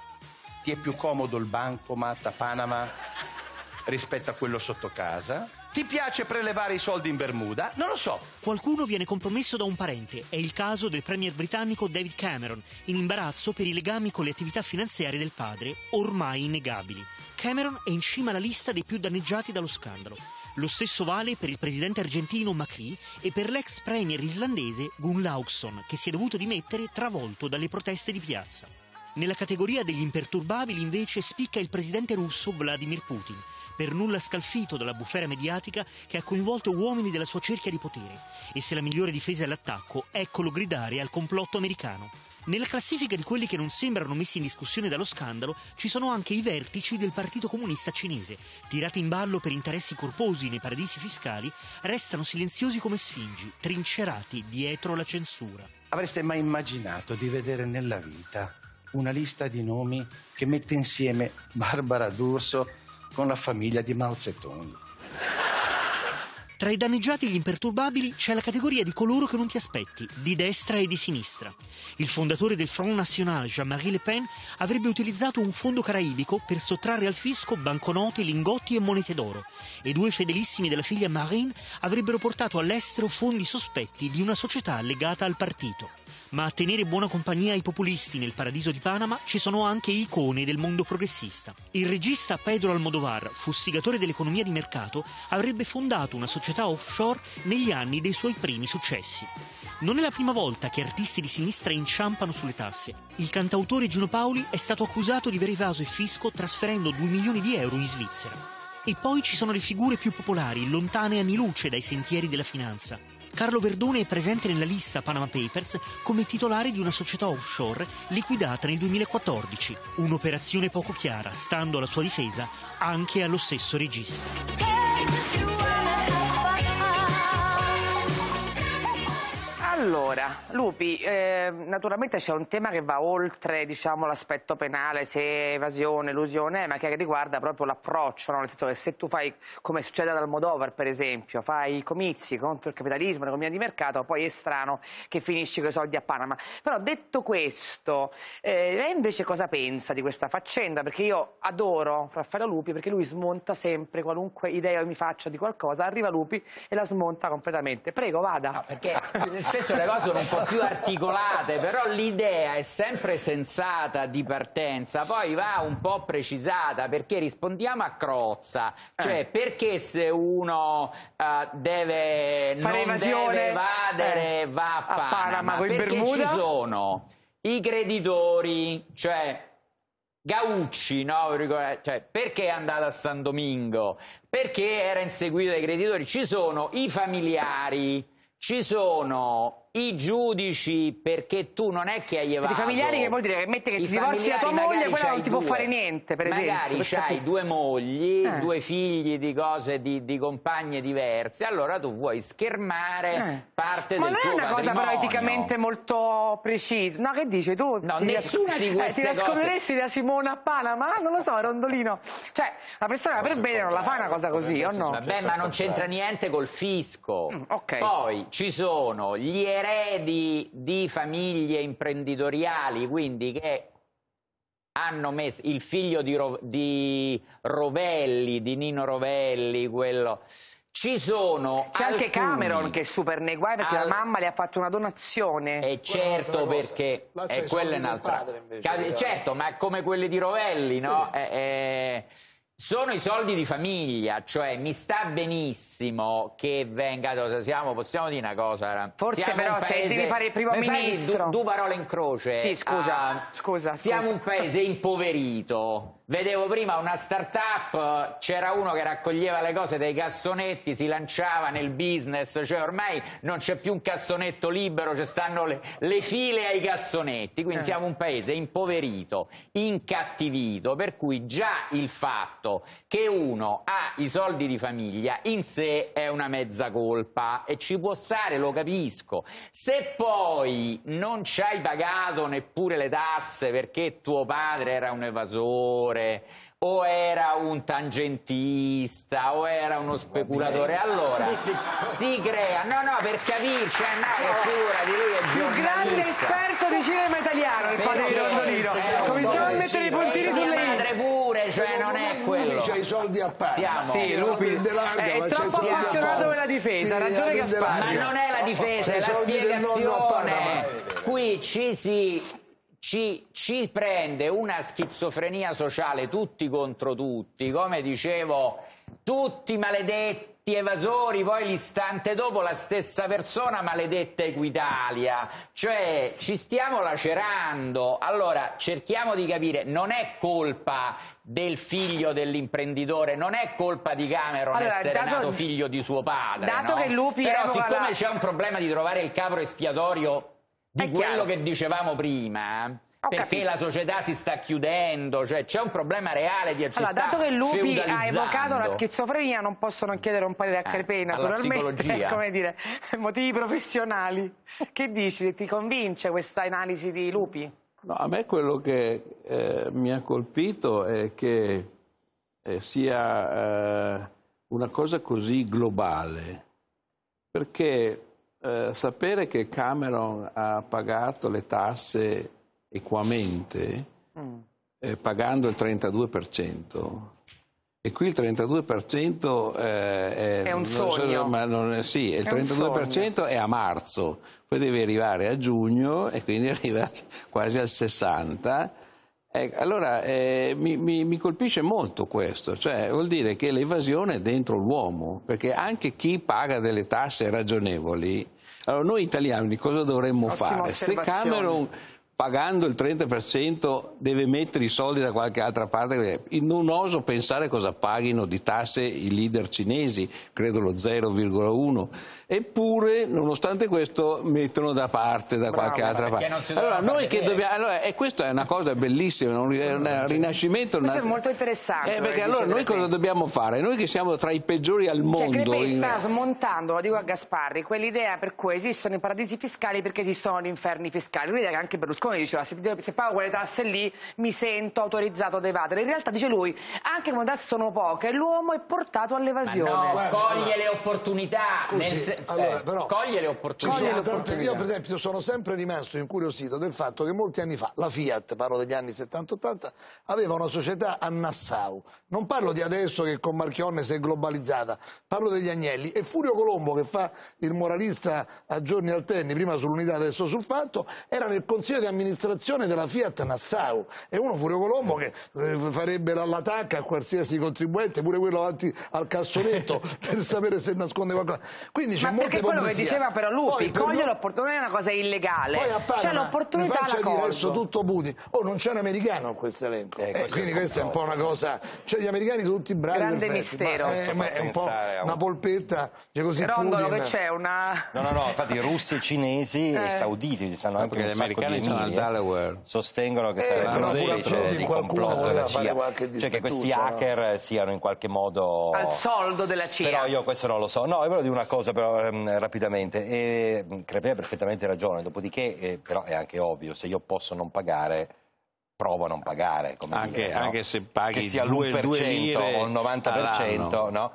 Però, però sei marcio. No, no, no, Voglio per dire, carità, se sto tu paghi il comportamento, il 15% sto difendendo- di tasse Sì. e scappi anche col 15%, beh, vuol dire Sì, che sei però marcio. perché non proprio. dipende Cioè, dalle per- aliquote, appunto, dipende eh, dalla siamo oltre la categoria morale. Però quello, Eh? quello- quello che non dipende io... dalle aliquote, ma dalla percezione di essere individuati, cioè Cameron ha evaso l'imposta sulle successioni, che è di difficilissimo accertamento. Cioè, Cioè, se pensi che non ti beccano evadi, questa è la teoria. molto alta, Rondolino che devo andare in pubblicità. Scusi Lupi, Rondolino che poi devo andare in pubblicità. No, no, però secondo me il punto non è mica il fisco, il Ah. punto è, eh, credo che lo accennasse, Certo, eh, non cioè è- il punto è nascondere i soldi. Cioè, se- e io su questo, no, non Possiamo parlare Rondolino? Eh. Io su questo adesso non voglio passare, io non ho conti alle, cioè ho un conto negli Stati Uniti piccolino dichiarato che mi serve per gestire la casa, 8.000 dollari nel Nevada, in una banca 8.000 dollari nel alla. Bank of America, è- dichiarato al è fisco, quindi io sono perfettamente in regola. Ok. Detto questo,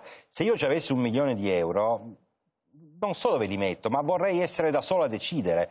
Cioè l'idea che uno nasconde i soldi, ma non soltanto dall'amante, anche da, da Giuliano Amato che di notte ti piglia il 2% dal conto corrente, non è un'idea sbagliata, per mille. ragazzi, 6 per 1000, scusa.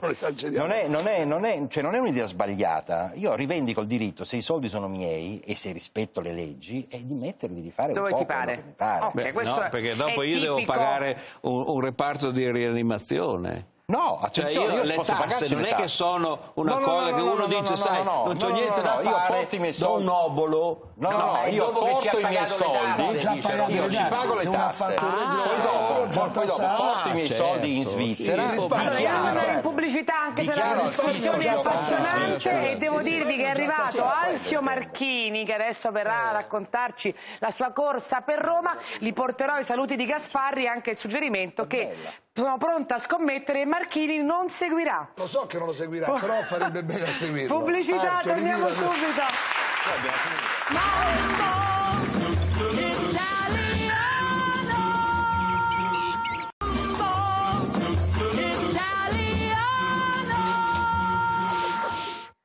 Allora, ve l'avevo detto, ci ha raggiunti Alfio Marchini, imprenditore, politico, in corsa per ora solitaria con la sua lista civica per la poltrona di sindaco di Roma. È il re di cuori di questa partita elettorale, visto che il suo simbolo è il cuore, Roma ti amo, un cuore con dentro le strade di Roma. Arriveremo fin lì perché gli chiederemo molto di Roma e dei suoi problemi concreti. Diciamo che Marchini ha stravinto sulla rete grazie al suo fake che è Arfio che fa dei commenti meravigliosi sui suoi competitor elettorali. Ve ne leggo uno per tutti che secondo me è bellissimo. Mm, me lo fate vedere quello lì su, su Ignazio Marino, che è meraviglioso. Dice, ho letto il libro eh, di Ignazio Marino, interessante, finalmente un buon tomo per fermare la porta del corridoio che sbatteva sempre per la corrente d'aria. Libro ti uso, Roma ti amo. Allora, ben trovato Alfio Marchini. Secondo me Arfio le fa un gran favore perché la rende molto simpatico e alla mano, perché lei sa che quello che dicono di lei è Quindi, che quindi lei... vuol dire che in realtà non lo sono. No, nel senso che lei sa che la critica che fanno su di lei è che è ricco, gioca a polo, è bello, fa Magari. una bella vita. E quindi il fatto che Arfio la mette così a contatto con la romanità, secondo me, è un buon inizio. Che dice lei? Beh, direi che sicuramente l'autoronia aiuta, aiuta a restare con i piedi piantati ben per terra e secondo me è un antidoto perfetto per ognuno di noi, per cui imparare a sorridere su se stessi è determinante, credo. Allora, la- partiamo dalla prima cosa importante che lei vuol fare da sindaco, perché ovviamente adesso è il momento di tirar fuori programmi, cose concrete. Le faccio sentire i suoi avversari cosa hanno detto, delle prime iniziative che vogliono fare e poi lei mi dice la sua. Sentiamoli. Quale sarà il primo atto che lei farà da sindaco di Roma se viene eletta? Un gesto che secondo noi è simbolico ed è anche eh, fondamentale per ripartire. Il taglio della carta di credito del sindaco non serve. Cambiare completamente la manutenzione delle, delle nostre strade. Penso che la questione delle buche, perché il problema di Roma è questo, io la- diciamo, faccio questa metafora. Roma è un museo tramutato in stalla. Il prossimo sindaco di Roma, qualora dovesse essere Roberto Giachetti, sarà un sindaco che sarà esattamente come sta facendo in questa campagna elettorale in mezzo alla strada. Il primo è la riorganizzazione amministrativa per, fare- per dare elezione diretta alla città metropolitana e trasformare i municipi in comuni metropolitani. E l'altra grande questione è quella del debito capitolino. Soffriamo e coviamo rabbia, noi capitali d'Italia, anche per Massimiliano e Salvatore, ricattati dall'India. Se sarò eletto sindaco di Roma, convocherò in Campidoglio l'ambasciatore dell'India e gli dirò che se entro dieci giorni non tornano in Italia, chiudiamo tutti i ristoranti indiani in città.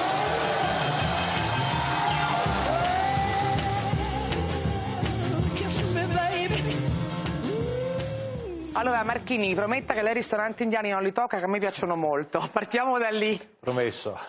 Va bene, la prima cosa che farà lei da sindaco, mi scusi, Tommaso Labate, amico e collega del Corriere della Sera, Buongiorno, appena arrivato, ciao ci farà Rita. compagnia in questo pezzo di puntata. Prego Marchini. Ma io credo che innanzitutto noi, io penso che chi ci ascolta a casa, vede, sono vent'anni che ascoltano sempre le stesse proposte, gli stessi proclami, hanno sempre gli stessi problemi, non cambia mai nulla.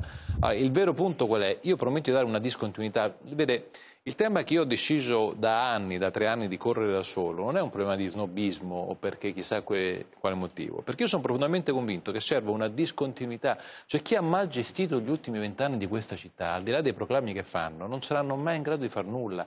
Se Marino cade dopo solamente due anni, in più firmando la legge di fronte a un notaio, neanche avendo il coraggio di andare in consiglio comunale, vuol dire che quel sistema non è in grado di dare risposte. I proclami che fanno sono dei proclami elettorali. Allora, o c'è una discontinuità, ma chi ha cogestito vent'anni non è in grado di farlo. Quindi io la prima promessa è una discontinuità. Le cose da fare, vede, sono semplici. Ma allora, ma perché a Londra ci fanno e a Roma no?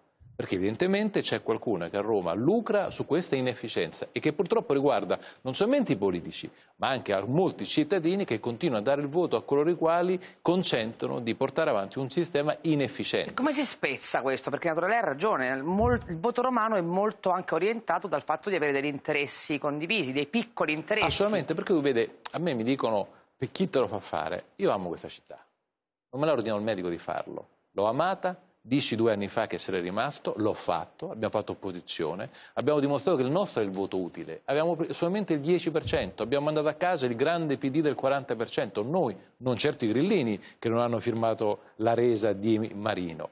Quindi io amo questa città, l'amo profondamente e so perfettamente quello che c'è da fare e come farlo. Non è che io non, non accetti i compromessi perché voglio fare il duro e puro, ma perché so che i compromessi con coloro i quali hanno cogestito non sono fattibili. I 5 Stelle si chiudono in una teoria per cui parlano tutte di cose astratte. Ora, la carta di credito del sindaco è una cosa sicuramente è negativo, ma non è un problema della carta di credito, è l'uso che ne fai. I temi non sono i simboli, ma sono le cose che Lei si si fanno tiene la carta di credito da sindaco, quindi Ma guarda, io non lo so, lei sa, se, insomma, se- se dico di no, dico, eh beh, tanto tu sei ricco, tu- tu- tutte queste fesserie. Io credo tu che, sei ricco, appunto, c'è no. il complesso oppure, della ricchezza, Oppure, oppure se no ti non prendi la macchina, noi abbiamo, noi abbiamo rinunciato alle macchine di servizio, abbiamo rinunciato a tutto. Perché? Perché penso che sia, sia giusto. Ma il tema, vede, non sono le cose... Se questa città non è stata distrutta perché usavano la carta di credito, o perché hanno, usano eh, l'autista, ma perché, esempio, le do dei numeri. La metropolitana di Milano incassa circa 500 milioni di euro e la metropolitana di Roma con il doppio dei passeggeri ne incassa 280, cioè sono circa mezzo Ma un miliardo. terzo delle fermate però. Esa- No, ma, ma manca, no, no, no, ma no, eh, in termini, linee, in termini a di, Roma in termini di evasione e di gente che, che non paga, oppure di eh, tessere gratuite, date, non date, cioè, parliamo di mezzo milione di euro. Sono Allora, soldi che devo- vengono dotti a chi, scusi, e venga al punto, alla mia promessa, abbassare le tasse. Io ho sentito e la Meloni e la Raggi che dicono le tasse non si possono abbassare, si devono abbassare. Noi abbiamo la pressione fiscale più alta che c'è in Italia. Oggi Repubblica Noi fa un abbiamo- focus incredibile. noi- Roma è di noi gran lunga, oggi paghiamo, compreso i bambini e gli altri, 150 euro. Noi abbiamo aumentato dell'83% le tasse, solamente la tassa sull'immondizia che è ancora più sporca a Roma, negli ultimi anni è aumentata del 45%. Non si può con un'economia bloccata continuare a vessare sulle tasse. Allora, Bisogna agire in modo concreto È e poco ma sicuro. Roma paga le tasse più alte d'Italia, i servizi peggiori d'Italia, ce ne siamo accorti tutti vivendoci E si dentro. può fare, guardi, si, si può fare. Chi dice che non si può fare è perché ovviamente chi ha cogestito in questi anni non può andare a toccare quegli interessi. Ecco, no, Ma toccando quegli interessi sulla si rimettono i soldi che in mi tasca interessa, voglio sentire anche il parere di Tommaso, perché lui dice, io non è che sto da solo perché non mi piaccia, perché voglio fare il duro e il puro, io sto da solo perché sia destra che sinistra in questa città hanno clamorosamente fallito. Dopodiché il dilemma su Marchini è sempre, ma Marchini è di sinistra in fondo, no? La- è sta- ha avuto alle toppe sulla giacca, come dice il mio autore Mimmo Torrisi, è, è amico, è sempre stato amico de- della sinistra, suo padre ha regalato botteghe oscure, suo Nonno, nonno, suo nonno, botteghe oscure al Partito Comunista. Ma tra l'altro mi dica una cosa Marchini, ma l'ha mai cercato il PD in questo tempo in cui lei è stato... Ma guardi, io parlo con tutti e ho grande rispetto di tutti. Eh, torno a dirle, anche il fatto che destra e destra-sinistra. Lei giustamente dice uno è di sinistra perché c'ha le top su, sulla giacca, cioè veramente mi viene in mente la canzone di Gaber, Gaber. su destra-sinistra, cioè quella è ormai, vede, questa è una città, che è un po' a metà del paese, in cui siamo tutti quanti orfani di qualcosa, sono tutti ex, ex comunisti, ex fascisti, ex democristiani, è giunto il tempo di guardare avanti, cioè io voglio che ci sia una proposta, non perché mio era comunista o perché quell'altro ma perché abbiamo una visione comune. Vede, Roma perché io l'amo? Perché Roma ha una possibilità fondamentale, riscoprire una delle poche fiammelle che sono rimaste, i quartieri di cui nessuno parla, un modello che deve ritornare vicino alla gente. Ci arriviamo ai quartieri, c'è una mappa per lei. L'Abate, allora, che cosa dici tu Tommaso? Cioè questo tema sul destra e sinistra, gli dà un punto di forza o in realtà eh, allora, gli schieramenti ancora esistono e ci sono, lui rischia di rimanere incastrato no? in questa... Allora, guarda gli dà senz'altro un punto di forza perché il civismo, soprattutto dopo che Roma è stata reduce da due giunte molto politiche che hanno evidentemente mostrato un fallimento, può essere un valore aggiunto. Ma in questo momento, come dire, rimanere fuori dai contesti della coalizione può essere, come dice, una scelta come rivendica giustamente Marchini, ma qualcuno potrebbe dirgli come la volpe della famosa uva che non riesce ad arrivare tal proposito però ho visto che Salvini, fra l'altro dice che si è chiamato sempre più fuori dalle, dalle questioni di Roma come lei gli aveva, come io, lei aveva io, suggerito. Io gli avevo suggerito prudenza e umiltà perché Roma è dei romani che vengono qualcuno dalla Padania a dirci che dobbiamo fare qua non, non mi sembrava il caso, era un, così, un simpatico invito alla saggezza. Però resta il punto per Marchini secondo me ineludibile che stante così le situazioni la possibilità di arrivare al ballottaggio in questo momento non ci sono, quindi la, qui la mia domanda. Esiste, senza entrare nei tecnicismi di chi fa il city manager, di chi e di quello che fa il vigile, la possibilità di un la ticket? possibilità che si come dire, riducano eh, le forze in campo nell'area moderata, perché in quello sta da 4 che sono a meno di 4? Allora, al momento Vabbè. la Meloni pare li voglia proporre di fare il vice sindaco a Marchini, no. così ha detto la Pivetti, e invece Bertolaso gli ha già proposto di fare il presidente del Consiglio sì, perché sta diventando comunale. beautiful, eh? sta diventando praticamente beautiful. beautiful. Non sono grandi proposte. Già. Eh, Eccola, siamo anche arrivati. Allora, pubblicità no. e poi Marchini se vuole fare una di queste due cose o se vuole lui fare una proposta no, allora, le, a Meloni. Di due e... cose sicuramente no, però ma le dico quello che ho in mente di fare. Benissimo, pubblicità, torniamo subito con Alfio Marchini.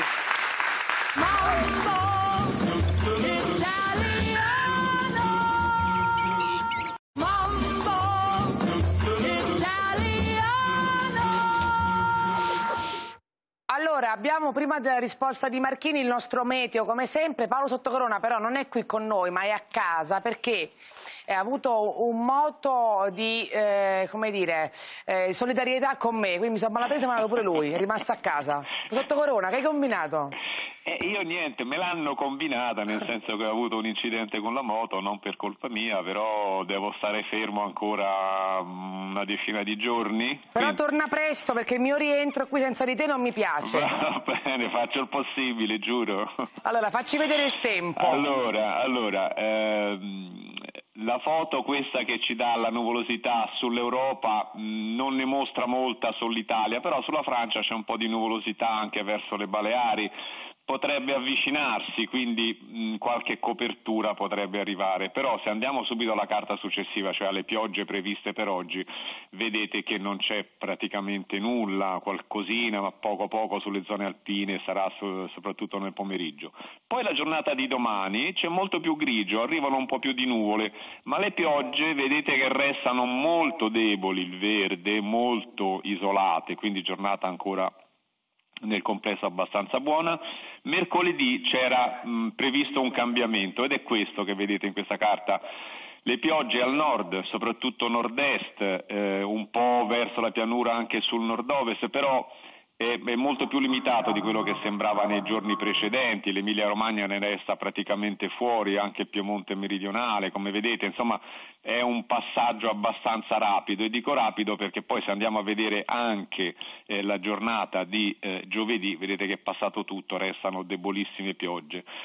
Eh, la, la, carta successiva, parlando di temperature, ci dà la tendenza delle temperature fra oggi e domani. Erano un po' scese a inizio del fine settimana, la tendenza per domani, quel verde o addirittura il giallo, una punta di rosso sulla, sulla Calabria, sono mh, aumenti provi, eh, previsti, in qualche caso anche di una certa consistenza, mentre sul resto del centro e al nord le piccole oscillazioni eh, fisiologiche, quelle che ci sono da un giorno all'altro.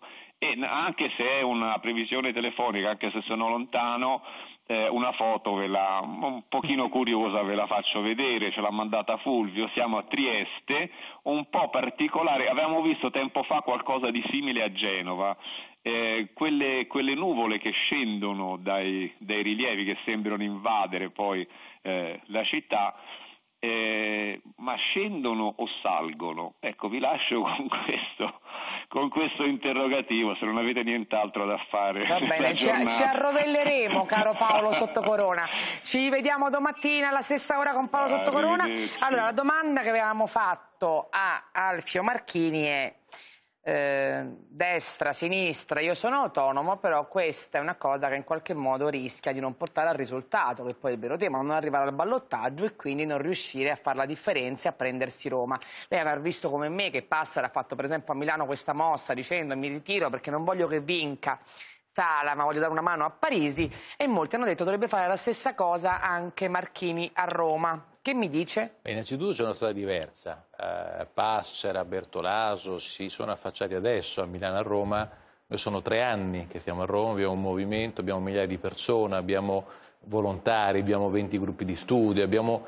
Roma è una scelta di vita. Vede, io non faccio politica perché voglio avere la poltrona, se avessi voluto una poltrona avrei contrattato con tutti quanti molto prima, l'avrei fatto tre anni fa, l'avrei fatto due anni fa, l'avrei fatto l'anno scorso quando abbiamo mandato a casa Marino, l'avrei fatto continuamente. Per me Roma è una scelta di vita. Io ho deciso di impegnare i prossimi vent'anni della mia, mia vita per questa città e dirò anche come e in che modo. Sarà una notizia bomba che darò all'ottimo Labate, no scherzo perché... no, perché Labate sì, ma che è? Oh. Va bene invece. Perché in tutta la mia vita, noi da, da, da bravo ingegnere in ogni cosa che faccio ho sempre un piano A, B, C, D. Però è importante questo, vede, il concetto del voto utile. Che cos'è utile il voto? Essere, dare un voto quando hanno fatto quello che hanno votato il PD e si sono accorti dopo due anni che hanno mandato a casa Marino? O forse invece dare a qualcuno che ha svelato noi a Fittopoli, noi Svendopoli, noi abbiamo bloccato una serie di cose che non andavano fatte. Secondo me questa è la politica, è servizio. Poi, siccome nessuno di noi è veletario, in un quadro di realtà, vede le cose da fare, ma il tema vero è che se io fossi stato convinto che qualcuno, 5 Stelle, centrodestra, centrosinistra, fossero stata un'ipotesi credibile per i romani che ci ascoltano, io uno non mi sarei candidato, due avrei fatto un accordo con loro. Mia, la mia insistenza su questa linea di, auto, di autonomia, perché io ho come referente 130.000 persone che mi hanno votato, sono loro che sono i miei giudici, io sono loro Quindi che devo guardare negli occhi e non è che io posso sfilarmi perché non ha senso. Partendo Le dirò dal realismo, che poi avrò una... Marchini, se le, appunto lei rimarrà comunque candidato a tutti i costi anche Guardi, se io le sondaggi... dico, io ho detto in un'intervista all'ottimo Labate, quando era? Due domeniche fa? Sì, domenica scorsa, sabato scorso. Sabato scorso. Io dissi, alla fine nel cosiddetto ex centrodestra, perché è evaporato il centrodestra, così come è evaporato il centrosinistra, sfatiamo questi mm. limiti, non si esiste più nulla, massimo due, due, massimo due, massimo due. E così è e così sarà. Giorgia Meloni e lei? Così è e così sarà. Aspetti un po' e poi vedremo, ma guardi, non prendi su suspense. È così. Uno dei due, allora, facciamo un'altra domanda, vediamo se riusciamo. Però, ma io non credo questo interessa. Uno dei due è lei? Alla signora non è che ci interessa. Due? Io le posso dire sicuramente che non resteranno più di due persone. Ed è importante, con questo chiudo questo argomento, perché parliamo delle cose che interessano i romani, perché questa è una un'opinione surreale. Cioè, ma la gente con questo gioco fatto ad arte non si parla delle proposte. Quindi chi... No, quindi no, scusi, oggi noi, oggi pomeriggio, presentiamo il nostro programma. Siamo gli unici che abbiamo un programma per questa città a 5 più 5 anni in piano industriale. Gli altri ancora neanche l'hanno fatto, si discute solamente di cose astratte. Di chi è il vantaggio? Di chi non ha contenuto, di chi non ha proposto allora, per questa città. Entriamo con i piedi nel piatto delle cose concrete. Se ho capito bene, Tommaso Maiuta non ha smentito né che si possa ritirare né che rimarrà l'uno dei due. No, io, non rimarrà, io non ci rimarranno due, Noi due candidati. restiamo in campo perché la lista Marchini è una cosa per Roma e non ha nessuna intenzione di appoggiare chi che sia. Punto. Quindi, comunque no a... E Alfio Marchini rimarrà candidato sindaco, lista Marchini può confluire? Io voglio parlare di cose concrete. Va bene. Arriviamo, arriviamo, alle cose concrete. No, evidentemente un punto politico c'è perché noi viviamo, diciamo senza prenderci troppo in giro, il governo Renzi vive un momento di crisi diciamo, incredibile, i sondaggi fotografati ieri da Corriere della Sera e Repubblica lo davano diciamo, in una crisi di credibilità, da un lato addirittura sconfitto alle politiche col 5 Stelle dall'altro, quindi con un fronte moderato, compatto, ci diciamo, l'Italia si starebbe apprestando diciamo, a un grande trionfo, eccetera, eccetera. Quindi penso che nella logica delle cose sia che alla fine questo groviglio così tormentato si riduca, diciamo, mm. o quantomeno si alleggerisca. Però si deve Io ridurre la... sintesi nelle, nelle questioni di merito, perché ci sono dei criteri basici. Perché il criterio qual è? Il criterio, prima bisogna capire qual è la piattaforma delle cose da fare.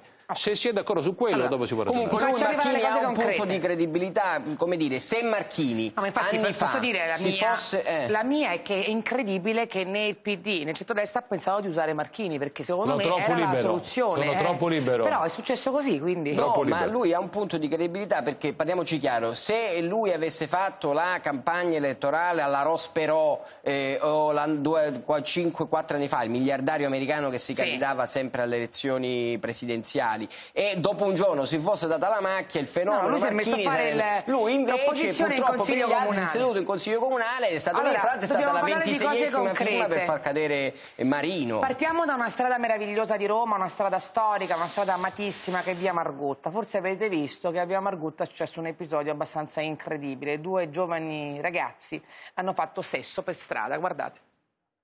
Today is gonna be the day that they're gonna throw it back to you. Ci troviamo in via Margutta, storica via nel cuore di Roma, legata al mondo dell'arte, qui ci sono molti pittori, ci ha vissuto Federico Fellini, è legata anche al cinema, è stato girato qui vacanze romane. Ma alcune sere fa chi passeggiava in questa via ha assistito a ben altre scene. Questa volta luci rosse, due giovani sono stati immortalati dai passanti mentre facevano sesso seminudi sdraiati nel bel mezzo della centralissima strada romana. C'è un'aria che scende dal Pincio che fa essere i margottiani un po' tutti matti quindi possono succedere le cose più strane. Però sei il luogo che porta a fare certe cose. Ah, è la via che fa queste feste, devo passarci di sera.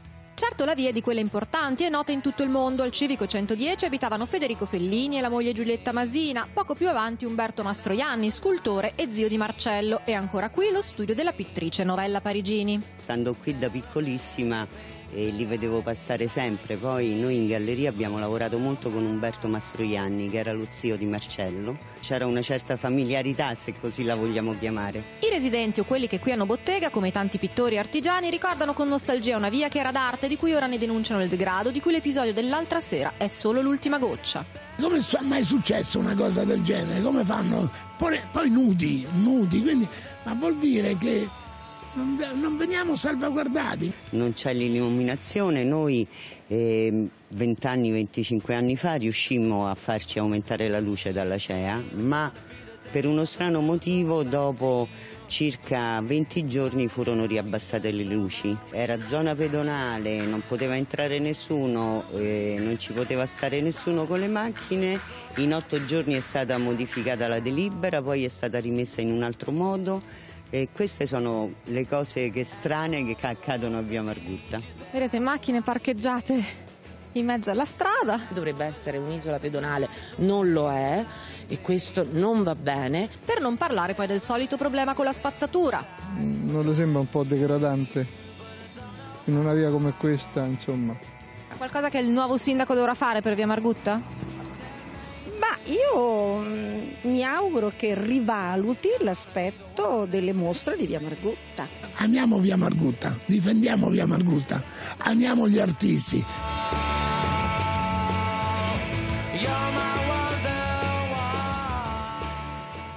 Naturalmente è un piccolo caso, Marchini, però ci parla di quello che diventa da Roma, no? Gli ubriachi che a mezzanotte di sabato girano in mutande per le strade del centro, i tifosi olandesi che trasformano la piazza di Spagna in un Vespasiano e adesso il sesso on the road. Cioè l'idea è che questa città ha perso decoro e dignità?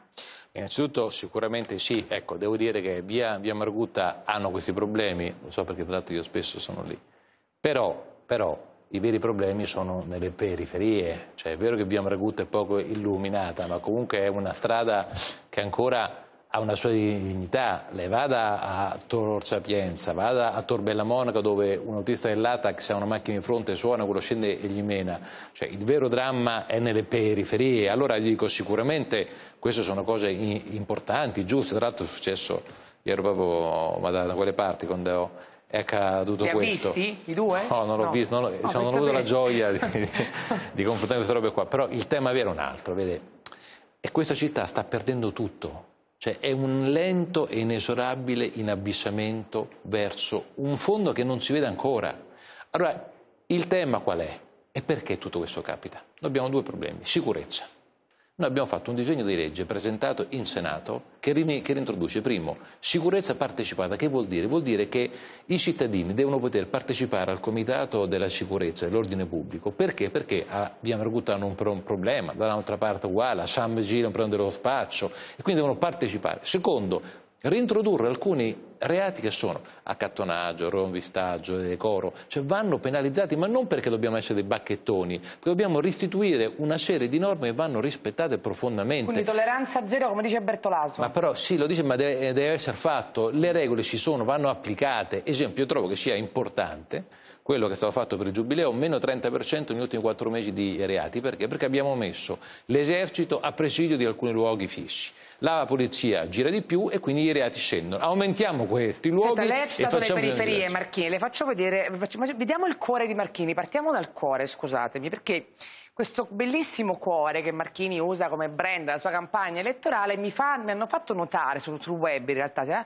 che è la mappa di Roma però con la Roma quella del centro, cioè Piazza Navona, no, questa è, è una mappa antica, cioè, allora c'era solo questo, cioè, quindi è una delle prime, questa è proprio la prima mappa fatta a Roma. Allora noi vogliamo capire se lei oltre ad avere nel cuore quel pezzo di Roma che è il centro del centro ha nel cuore anche il resto. Vediamo una mappa eh, in cui, ecco, eh, questa è la mappa dei municipi romani.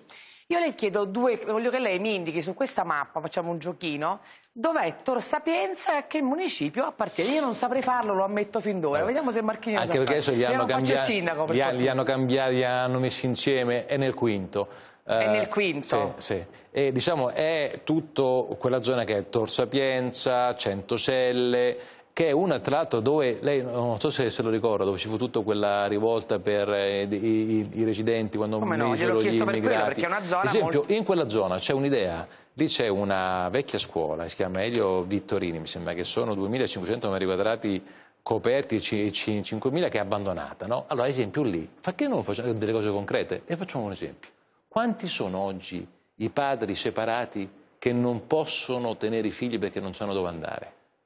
Allora, quanti sono i giovani che oggi spendono 500 euro in nero, che è un'altra fo follia che c'è a Roma, per poter studiare? Prendiamo quel luogo, ristrutturiamolo in quel quartiere, diamo la possibilità al padre che non sa dove andare con il figlio il fine settimana, che possa restare lì un paio di giorni, al giovane che deve studiare lo stesso. Cioè, consumo di suolo sì, zero, ma recupero dell'esistente. Io sono andato l'altro giorno, tra l'altro, sono stato invitato a mangiare un aglio e peperoncino da un un certo Sandro, che tra l'altro saluto. Ma che è stato Sapienza? Sì, penso mm. che è il caso. Tra l'altro, io gli, eh, gli, avevo detto vieni, poi c'è la moglie che c'è un, un, problema, anzi gli faccio anche in, in, bocca al lupo. Ma lì ci sono delle donne che ti fermano e dicono io non posso camminare per strada perché i campi nomadi che stanno lì intorno vengono completamente aggrediti. Non è possibile, il campo nomadi, anche là, io non sono marraccista. Però tu vieni in Italia, se vieni in Italia con il presupposto di delinquere per cui ti attrezzi per fare il riciclaggio clandestino dei rifiuti, non va bene. Se lo chiuderebbe il campo normale ma assolutamente, ma assolutamente no, no, lì non c'è, ce ne sono un paio, uno di Via Salviati e poi c'è un altro a fianco. Il tema vero è che lì non può andare avanti così, perché là sono dei luoghi, dentro ci sono delle famiglie di nomadi, diciamo, che hanno intestate mille, duemila macchine.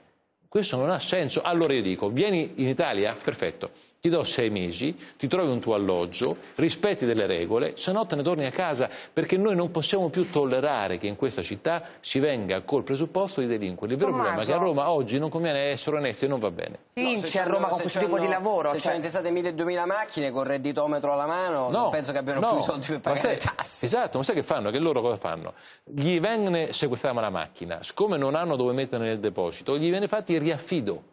Quindi la verità è che queste persone si conoscono. Allora il tema era ma perché questo sistema di illegalità A continua Roma a è tutto già persistere? noto, peccato conoscere nulla. Bravo, ma perché quando poi dopo vedi che vanno a fare malefile ai- a- alle pri- primarie e voti, forse qualcosa capisci. C'è un'analisi del linguaggio di queste ultime due cose, eh, perché sia quella di Padri Separati, che è una cosa che non so se l'avete notato, ma è Salvini cita sempre Ma è un dramma. in ogni, in Ma ogni non sai questione. quante persone Eh, si sui fermano. campi Rom, ovviamente se Salvini fosse in ascolto in questo momento, secondo me Marchini gli piacerebbe molto di più di quanto secondo Tu- me gli tu- piaceva già da prima. Ha- ha Sì, è la Meloni parecchio. che non lo voleva, così mi raccontano Poi il però volevo chiedere, una cosa, volevo chiedere una cosa a Marchini, se eh, il tema della sicurezza partecipata di cui parlavo prima, di cui lei parlava prima, può vagamente assomigliare a quello che una volta si chiamavano le ronde. No, sono due Allora, cose diverse. pubblicità e poi No, risponde. non sono Adesso devo andare a pubblicità.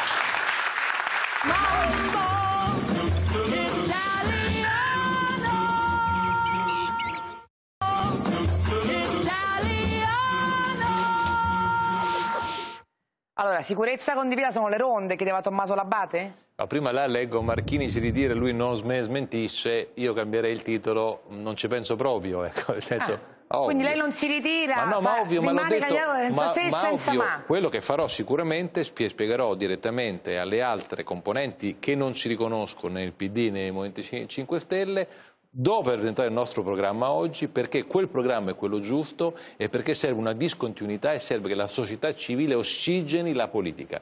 Nessuno dei partiti attuali che hanno cogestito e a sinistra e anche a destra. Ma quando Bertolaso, che è il scusi, il sindacato, che è il sindaco indicato da Berlusconi, Bertolaso, dice le colpe del dissesto di questa città sono sia del centrodestra sia del centrosinistra, ma come si può credere ancora che il centrodestra lo Aspetta, faccia Marchini, quando è il, il il candidato di, di Berlusconi a farlo? Mi aiuti a fare il titolo. Marchini si ritira, Non ci penso proprio. Non ci penso proprio, resterò sindaco fino alla fine. Non ci penso proprio, anche Romano secondo me canta bene. Detto poi invece andando al tema de- de- del discorso che mi ha fatto Marabate, e ovviamente poi siccome sono una persona ma responsabile, voglio bene dei romani, nei prossimi giorni io incontrerò Berlusconi, la Meloni, tutti quanti per è trovare un però. Ma ovvio che sì. Cioè, ma ovvio. incontrerà Berlusconi e la Ma, Meloni? ma- ma questo perché? Ma non perché debba fare delle alleanze, ma perché giustamente è il mio dovere presentare un progetto che noi oggi presentiamo alla stampa estera al- alle tre, è un piano industriale a dieci anni di cose concrete, Eh, ma 100 punti l'obiettivo da è fare convincerli come a stare con lei? No, io presenterò questo programma serio per dire